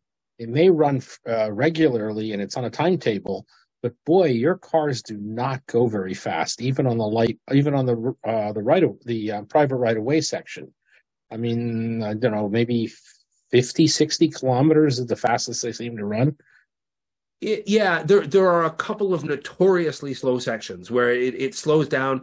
It it makes a number of twists and turns. Um, several sections. It's not it's not running like 70, 80 kilometers an hour. It's not doing that anywhere. Um, but in a number of sections, it's it's relatively quick, even though the speed of the vehicles isn't isn't that fast. But that is one of the few things I think you could critique about it is that, you know, the running time end to end is is relatively long and there's a couple of sections that do take a long time because it's it's going quite slow. In the main sections, it's you know, it's not too bad. And because it has a signal priority, like you're not going to stop at traffic lights, which is a big a big win. Um, you know, you have level crossings, so you cross a busy intersection on a right of way, and there's no traffic light for the for the light rail. It just it just goes. Um, but yes, it's it's not the quickest in the world. But again, compare it to some of these, you know, new streetcar lines in the US and it's it's pretty speedy. Yeah, the other question I have is in Toronto, which as I say, I visited pretty regularly, two, three times a year because my parents were living there. Um, when did they start pulling down the overhead on Richmond and Adelaide and removing the tracks in the you know the opposite direction? They were there forever, and then all of a sudden they started to to pull them out? Yeah, that's a good question. I don't know the exact date. I I know it's sort of been a slow process until tracks being rebuilt. So again, someone would know the exact date, but you know, there's a few sections that were rebuilt with single track because the two tracks that you get on those one-way streets are a holdover of when they were two-way streets. Right, you know, right. 60, 70 years but, ago. But Richmond um, and Adelaide have been one-way uh, pretty much in my lifetime. So yep. Yeah, no, they've been one way for for a long, long time. Um, you know, they rebuilt York. Uh, I don't know within the last I want to say fifteen years or so, um, and they they only put in one track. Um, no, but yeah, that sort of deterioration was sort of a a slow pro- process, right? Because the the track wasn't used for a, for a lot, um, especially sort of right across the sort of Yonge to to university stretch. So a lot of construction and pave over a bit and take the wires down for something and open them back up and yeah. Yeah brian's rob, rob levinsky here. So yeah just like to your point to with, with track construction yeah it's probably been over the last like 10 to 12 years like richmond street got rebuilt single track. Um, adelaide which is first re- just been rebuilt like in the last six months for that queen street diversion the second track was just like literally just taken out like four months ago. Um, and wellington street i think was the last like really really also really really old track from like 1972 got taken out in like the last two or three years. So a lot of it's been fairly recent um, but of course with the conversion of the overhead all the old overhead came down and you know whereas the track is being used it's being been restrung with the pantograph overhead. So it's actually like fairly recent uh, that a lot of this wrong way track and overhead has come down and, and gone away also are they are they rebuilding the loop into McCaul for the what used to be the kingston line or it's going to continue to loop on Wellington? Uh, well, the McCaul loop is right now being used by the Queen Street cars. So two of the two of those Flexity low floor cars can actually fit in that loop. Um, and the Kingston Road car is currently running through the downtown on King and the Wellington Loop is being used by the Queen streetcar. So to to Brian's point, comments about all the construction, like a lot of all these loops are being used, but not for the things that they used to be used for. There's with all these diversions and reroutings going on. Yeah, it's it's been quite handy to have a lot of this extra track and these different loops and different ways of getting around the downtown or looping before you get right to downtown, but right to the edge. It's it's been quite handy. And as I said, I mean, I for, for me, like the the actual like stuff stuff changes a lot. And when you don't live and ride it on a regular basis, it's um, you know, I I struggle to keep up with all the all the intricate changes of what's open, what's closed, and but there's a lot. Like I can't remember the last time the network ran as it should. It probably going like I've been back in, in Canada since 2017, and I don't think there's been a time since then where it's run like the the way it, it would normally run. Right? There's are they are they also are they going to convert the wires on Bay Street and Church as well to the pantograph? Or have they done that already? On Bay Street. There is a section of track on Bay between Oh yes. I mean, the, the idea now is every, everything will be pantograph mm-hmm. equipped, right? Yeah, and, and yeah. I think I think only the I think only the Russell Carhouse Yard is the only place that poles still have to be used. Otherwise, everything else is pantograph friendly. Um, we did have uh, let's see, a hand up from Ed Kohler. Uh, Ed, go ahead. Hey, Brian. As someone who's not familiar with Toronto, I appreciated your presentation. It was a great introduction. I got to I got to figure out how to get up get up there into the Halton Radial Railway. Hopefully, Halton Radial has a festival like the Pennsylvania Trolley Museum does. Great presentation. I enjoyed it, and you didn't go overtime. Believe me, you didn't go overtime. Thanks. Uh, and I'd also uh, want to thank Kristen for organizing, like I always do, for organizing these things because you know, is producing something on a weekly series, I know the work it takes just to find content to provide. So I was uh, lucky that Brian reached out to me. So yeah, thank you. Well, if you get desperate, I sent you a few uh, audition tapes. Yeah. That's another story. Right. And and uh, just thank you. Great presentation. I enjoyed it, and uh, thank you, sir. Thank you very much. Much appreciated. thank you. Thank you. And I see uh, Richard Allman has his hand up. Hi there, Brian. Uh, thanks very much for a terrific presentation. Let me say it's great to see Margaret Bromley here. We correspond regularly, but to be in the same meeting is is fabulous. You really set yourself a very difficult task uh, narrowing down from John's superb collection for one mere book. Uh, it, it, you could fill a shelf with uh, with his treasures. Um, uh, uh, one other comment. Uh, part of what happened in Toronto, and this isn't an accusation of you or anyone else, is that there were some very odd political characters along the way in the last few decades. Not that we haven't had them here, but that that was a big contributor. And and then one final thing, if you'd just comment briefly about the electrification project for Go. Oh, uh, I think there might be people on the call who are involved in that. I know there's, I, I, I don't know what has actually been formally decided with this. Um, there's big expansion coming in terms of frequency. Um, I, I think we'll Make see it more of an S-Bahn type operation. Yeah, so the, the idea is to move towards like a regional rail system where you have this frequent service, you have through running service at Union Station, um, and you can get you know 15 minute schedules or or or even better. And in fact, we're going to start to see that um, on a few lines on the Lakeshore line coming up in particular, and even the even the Kitchener line, which is our line, we'll see half an hour service from Brampton into Toronto starting next month. We're not going to see much of the benefit of that out all the way out here. Um, but it is it is substantial, and I mean, it is this huge untapped resource of these train lines run to you know through places that are really growing, huge populations, and not particularly well served by by rail transit. Um, so it will really connect a lot of places really really well. So I think it's it's really a, a regional system to watch in the coming years. And from what I understand, there are still some decisions about rolling stock and so on that haven't yet been made.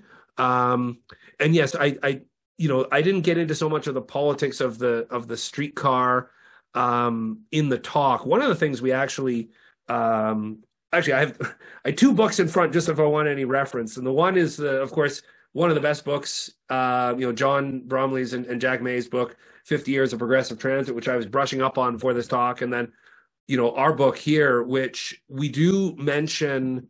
You know, one of the things we talk about at the end is like these different ways of viewing the streetcar, and you know, on the one hand, that you know, for a lot of folks in Toronto, the streetcar is this beloved icon, right? It's something that you use. It's part of your the identity of the city. It's probably the second most iconic thing in Toronto behind the CN Tower, right? But again, we get into this big region or even this big city, right? There's only about a million people that live in what you would call the streetcar city, right? The, the city built by the streetcar that has a more walkable urban form. It has, you know, that kind of older pre-war feel to it. Um, and another 2 million that live in areas that were primarily designed for the automobile and where getting around by car is still the dominant mode of transportation. And so the other view of the streetcar that we don't talk about, you know, you don't, don't really hear so much in, in groups like this, but it's still a, a dominant perspective for a lot of people is your only encounter with a streetcar is seeing the back of one from the windshield of your car, stuck in that horrible traffic, trying to get on the highway to get out of the city as quickly as possible. Right. So it is a bit of a love hate relationship. You know, I talk to people from places who have no connection to the streetcar. They just don't understand. It's not something they grew up with. It's something that's an impediment. Right. So yeah, I see a comment here. Mayor Ford, the streetcar hater, and yeah, he didn't like streetcars. He wanted to rip them up. He wanted to put subways in instead, and it, it really gets. He mainly this... like cocaine. Well, that's another story for another time, I think. Uh, but you know, it really gets to this this you know this very different way of in experiencing and interpreting the city depending on where you live and how you get around. And um, for a lot of people, even in a place like Toronto, transit is just not not really considered the, the way to, to go, especially something like slow, like a streetcar, right? Mm-hmm. Um, I see Nicholas has his hand raised. Nicholas, go ahead. Hey there. Thanks, everyone. Thank you, Brian. That was excellent presentation. I'm Thank a you. Toronto person myself. Uh, I just want to ask which cities have a streetcar model or trolley model that we should emulate? Like, what could we learn from places that are doing it better, or is Toronto sort of the one that people want to copy going forward? That's uh, that's a very good question, and you know, as someone who's who's lived abroad for a long time, and you know, the the easy, the knee jerk rea- reaction is everything's better in Europe, right?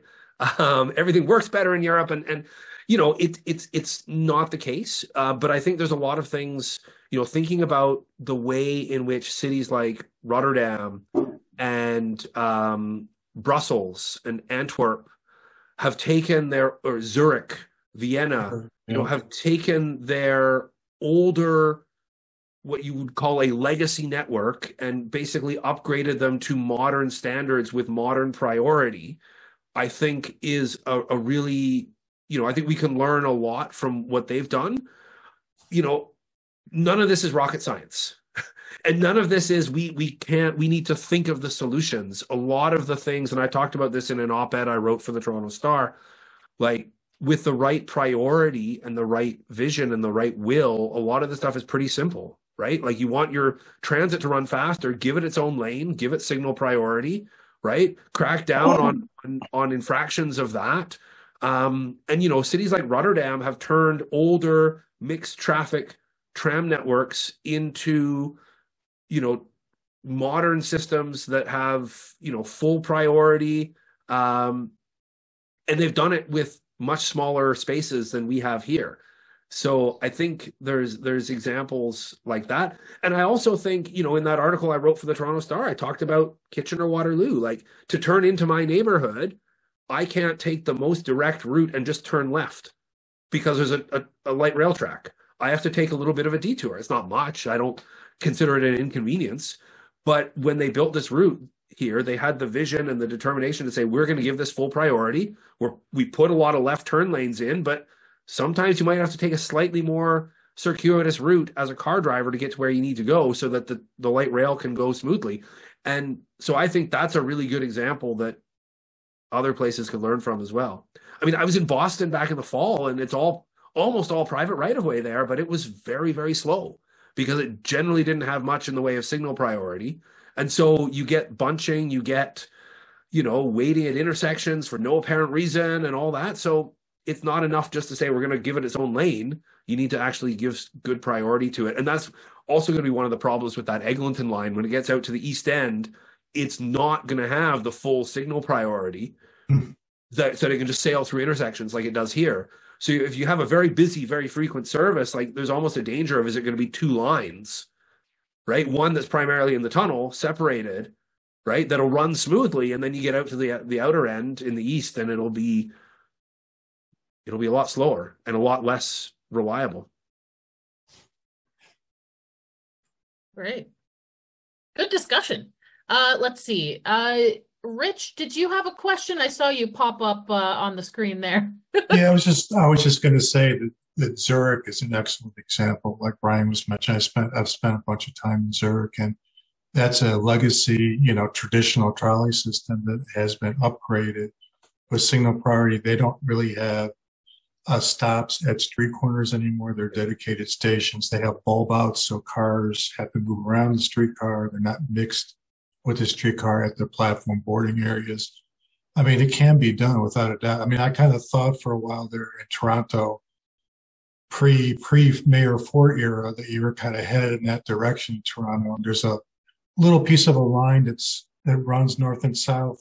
Yeah, past Roncesvalles. Yep, yep. That you can actually see that where they're the, they have the bulb out, you know, station uh, platforms with close to level boarding and you know you're not you're not just boarding it a, walking out from the street corner. So it seemed like you were heading that direction but then it just got stunted you know at some point. So yeah that was a fairly easy street to do because it wasn't so busy in terms of cars but yeah it, it did serve as a bit of a model of what's possible. Um you know other places you know, a lot of european cities i've seen dresden come up here. Berlin's a good example as well. I don't know so much about melbourne but from what i understand melbourne has also um, changed its its large tram network to to to give more priority. Um, it'll be interesting to see what happens in Philadelphia with the the subway surface yeah, line because absolutely. one thing that so what what Toronto did and what Toronto basically has is 21st century rolling stock and overhead now with 19th and early 20th century streets the streets, apart from those curb cuts and a few spots, like you mentioned, with the um, the small redesigns, the streets really haven't been changed. I mean, so many of those photos I showed them because I wanted to show, like, yeah, you could just swap out some buildings and clothing and cars, and you have 1960s, you know, Philadelphia and Baltimore and and and so on, 1950s Chicago. So what Philadelphia, I understand, is doing is they're also they're they're rebuilding the infrastructure on those streets maybe yeah. taking out some stops so they can run a bit quicker as There'll well be a lot fewer stops. Yeah as well as um as well as um upgrading the the the rolling stock. And toronto only did one right? We didn't do the other the other part. And taking out stops is always a, a, a, difficult conversation right? Because it has to do with accessibility and you know who's using the stops and how far are people walking. Um i mean in europe it's very common to have stops I don't know what, sorry, it, will be in kilometers, but you know, four or five, sometimes 600 meters apart. Yeah. And here, you know, the TTC network is still every couple of blocks, basically, every 200 meters, 200 yards, whatever that, um, that is, uh, um, you know, still pretty common. And it's been, it's, it's difficult even though it makes sense for sort of speeding up the journey times, it's difficult to remove stops, right? For for a number of reasons. Yeah. So it'll be interesting to see. Like I'm hoping to go down to Philadelphia at some point before all that construction starts and and um, you know see, see it again before and then go back once the new rolling stock's there and once the lines have been upgraded and to see see what it is. But it has potential to uh, to kind of be a, a North American leader, I'd say, if done well. Absolutely. You know, Philadelphia's always also had that love hate relationship with streetcars where you know the city sporadically you know supports it and you know hates it at the same time so yep yeah i got my uh gulf oil 1970s corky uh, pcc model up there if i don't know how clearly you can see what's in the background there, but uh, yeah. Great. Uh, do we have other questions or comments for Brian? A comment. Uh, the in the old days, when the streets were dry, there were ruts in the street, and gradually the wagon builders, buggy builders, used the right the same gauge, if you will, so that it would make a smoother run, less friction. And you can't have one wheel in a rut that may be six inches deep and one on the surface. So when the franchises were awarded, the cities saw a great way to quote pave unquote uh, their streets by using the railroad, the uh, uh, girder rail, and uh, other track. So in Baltimore, uh, next to where I live, I live in Washington, outside of Washington. Uh, the wheel gauge was four, five feet four and a half inches, the widest. Turned out to be the widest trolley gauge in the world. Uh, so I, as I was told, the wagon gauge for Toronto was four feet seven eighths uh, inches, and that was perpetuated in the streetcar gauge. My question to you is you have this vast amount of track at the wide gauge. Uh, why are you going to standard gauge? Uh, it would seem to me that sometime in the future, you might have these systems linked up.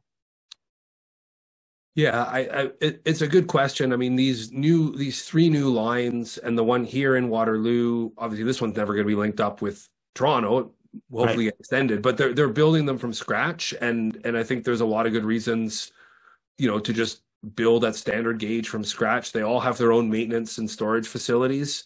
Um, they may link up eventually, but they're also the the load gauge of the um, the new light rail lines is also bigger.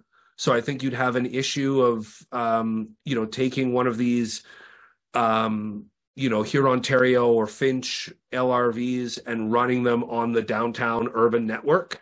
Um, and I think Metrolinx just made the decision that we're going to go standard gauge like the rest of the world, and it makes it easier to build, right? Because it makes it easier to build those lines, and you just have. I mean, it's not. It's not that it's even two systems. It's like it's four or five systems that are all separate, right? The new ones are standard gauge, and the old. I don't like the term legacy system, but the old legacy system of the old streetcar network is just this odd gauge, and and we deal with that. But there are never there's never been any plans, as far as I know, to um, to link up an existing streetcar line with a new light rail line. There might be some extensions of streetcar lines beyond where they are now, but that would be separate from the new light rail lines that are that are being built because they are being built to a different standard. They will have, for example, the level platform boarding. Um, they will have, you know, they might be compatible with each other, but it's a whole new generation. And you know, th- this was also a debate with the Ontario line, and I know speaking with um, I, I spoken with a few people about that. And and you know the the default would be well let's just build another subway line with the same standard as the subway that was first opened in 1954 with these and the sub the Toronto subway cars are very big. They're long um and they're they're you know the propulsion system is not as rapid as more modern ones. And so a decision was made to say we're actually going to build a fundamentally new and different line this Ontario line. It is going to be distinct. It's not going to link up with the other lines. And, you know, rather than building on technology that's now 70 years old, we will start new with the newest technology, the newest standards. So it's it's smaller vehicles, right? It's overhead wire. It is, um, you know, it is automated. It's more frequent right? Shorter, smaller trains, but more frequent. That tends to be the standard that's approved today, or you know, today, rather than just well, let's just build another subway line. So same applies to this new Metro uh, Ontario line. And what is the difference in total capacity, including standees, between a PCC and or L or CLRV, if you wish, and the new uh, Red Rockets? the, the, the Bombardier ones. That is something the internet would probably have to uh, uh, guide us on because I don't have that off the top of my head. Um, Yeah, give it a minute in the chat and somebody might be able Yeah. to. yeah, that's the question. Does does do do 250 uh CLRV stroke ALRVs have more capacity than the 205? I mean, eventually there'll, there'll be another 60. So actually, the fleet will grow beyond. So when the the new six the 60 additional ones all arrive in the coming years, obviously the capacity will be more. I suspect the capacity. I, I suspect capacity is greater on the 205 modern LRVs. Are the, the they're double-ended and double-sided as I No, understand. no, they're not. Oh. They're single-ended. single-ended? So, Okay, yep, single-ended. So they opted again, opted. So so one of the things with this, you know, one of the the benefits of just saying we're going to build these new light rail lines, we're going to start new, is you don't have any of that legacy and that path dependency, right? So the TTC is all single end, right? There's loops everywhere, which takes up a lot of space, right? And makes things less flexible because you either need track on streets to loop around or you need an actual loop rather than just a crossover switch. So um um they're they're single ended. As far as I understand, the load gauge is a little bit narrower than the um the, than the, the the similar light rail vehicles for Eglinton and the ones we have out here. Uh, they're both five section, uh, six axle cars, but um, only single ended, only doors on one side.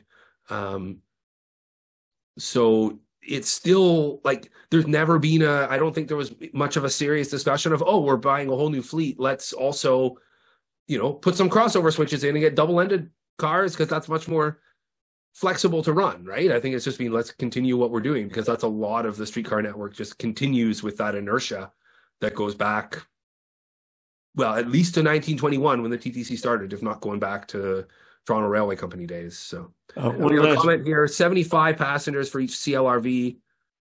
Um, uh, 130 for the for the low floor. There's also a comment here which is which is interesting as as well, which is again something I didn't, you know, there's only so much you can talk about. But yeah, not all the 205 are actually needed. Only 144 of the low floor cars are actually needed in the peak rush hour, and there's 60 more on order. Some of that is due to service cuts. Um, and Rob has pointed out that nine of the additional 60 have been delivered. I think my dad has been on a couple of them. I think I remember him saying, uh, I've seen or seen some of them around.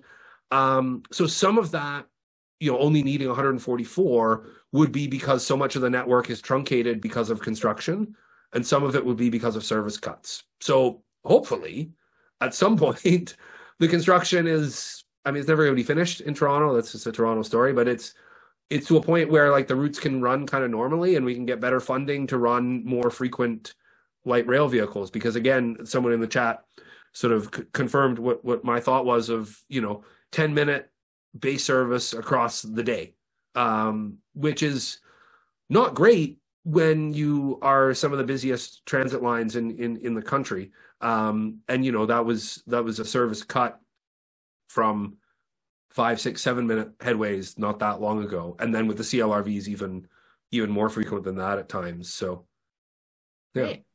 now, Well, one I- last question. Oh, one I last haven't- question. One last Yeah. question, if I may. Uh, I've never seen a picture of the interior. Are the seats facing forward? Is it two and two seating, two and one seating? Cattle car seating?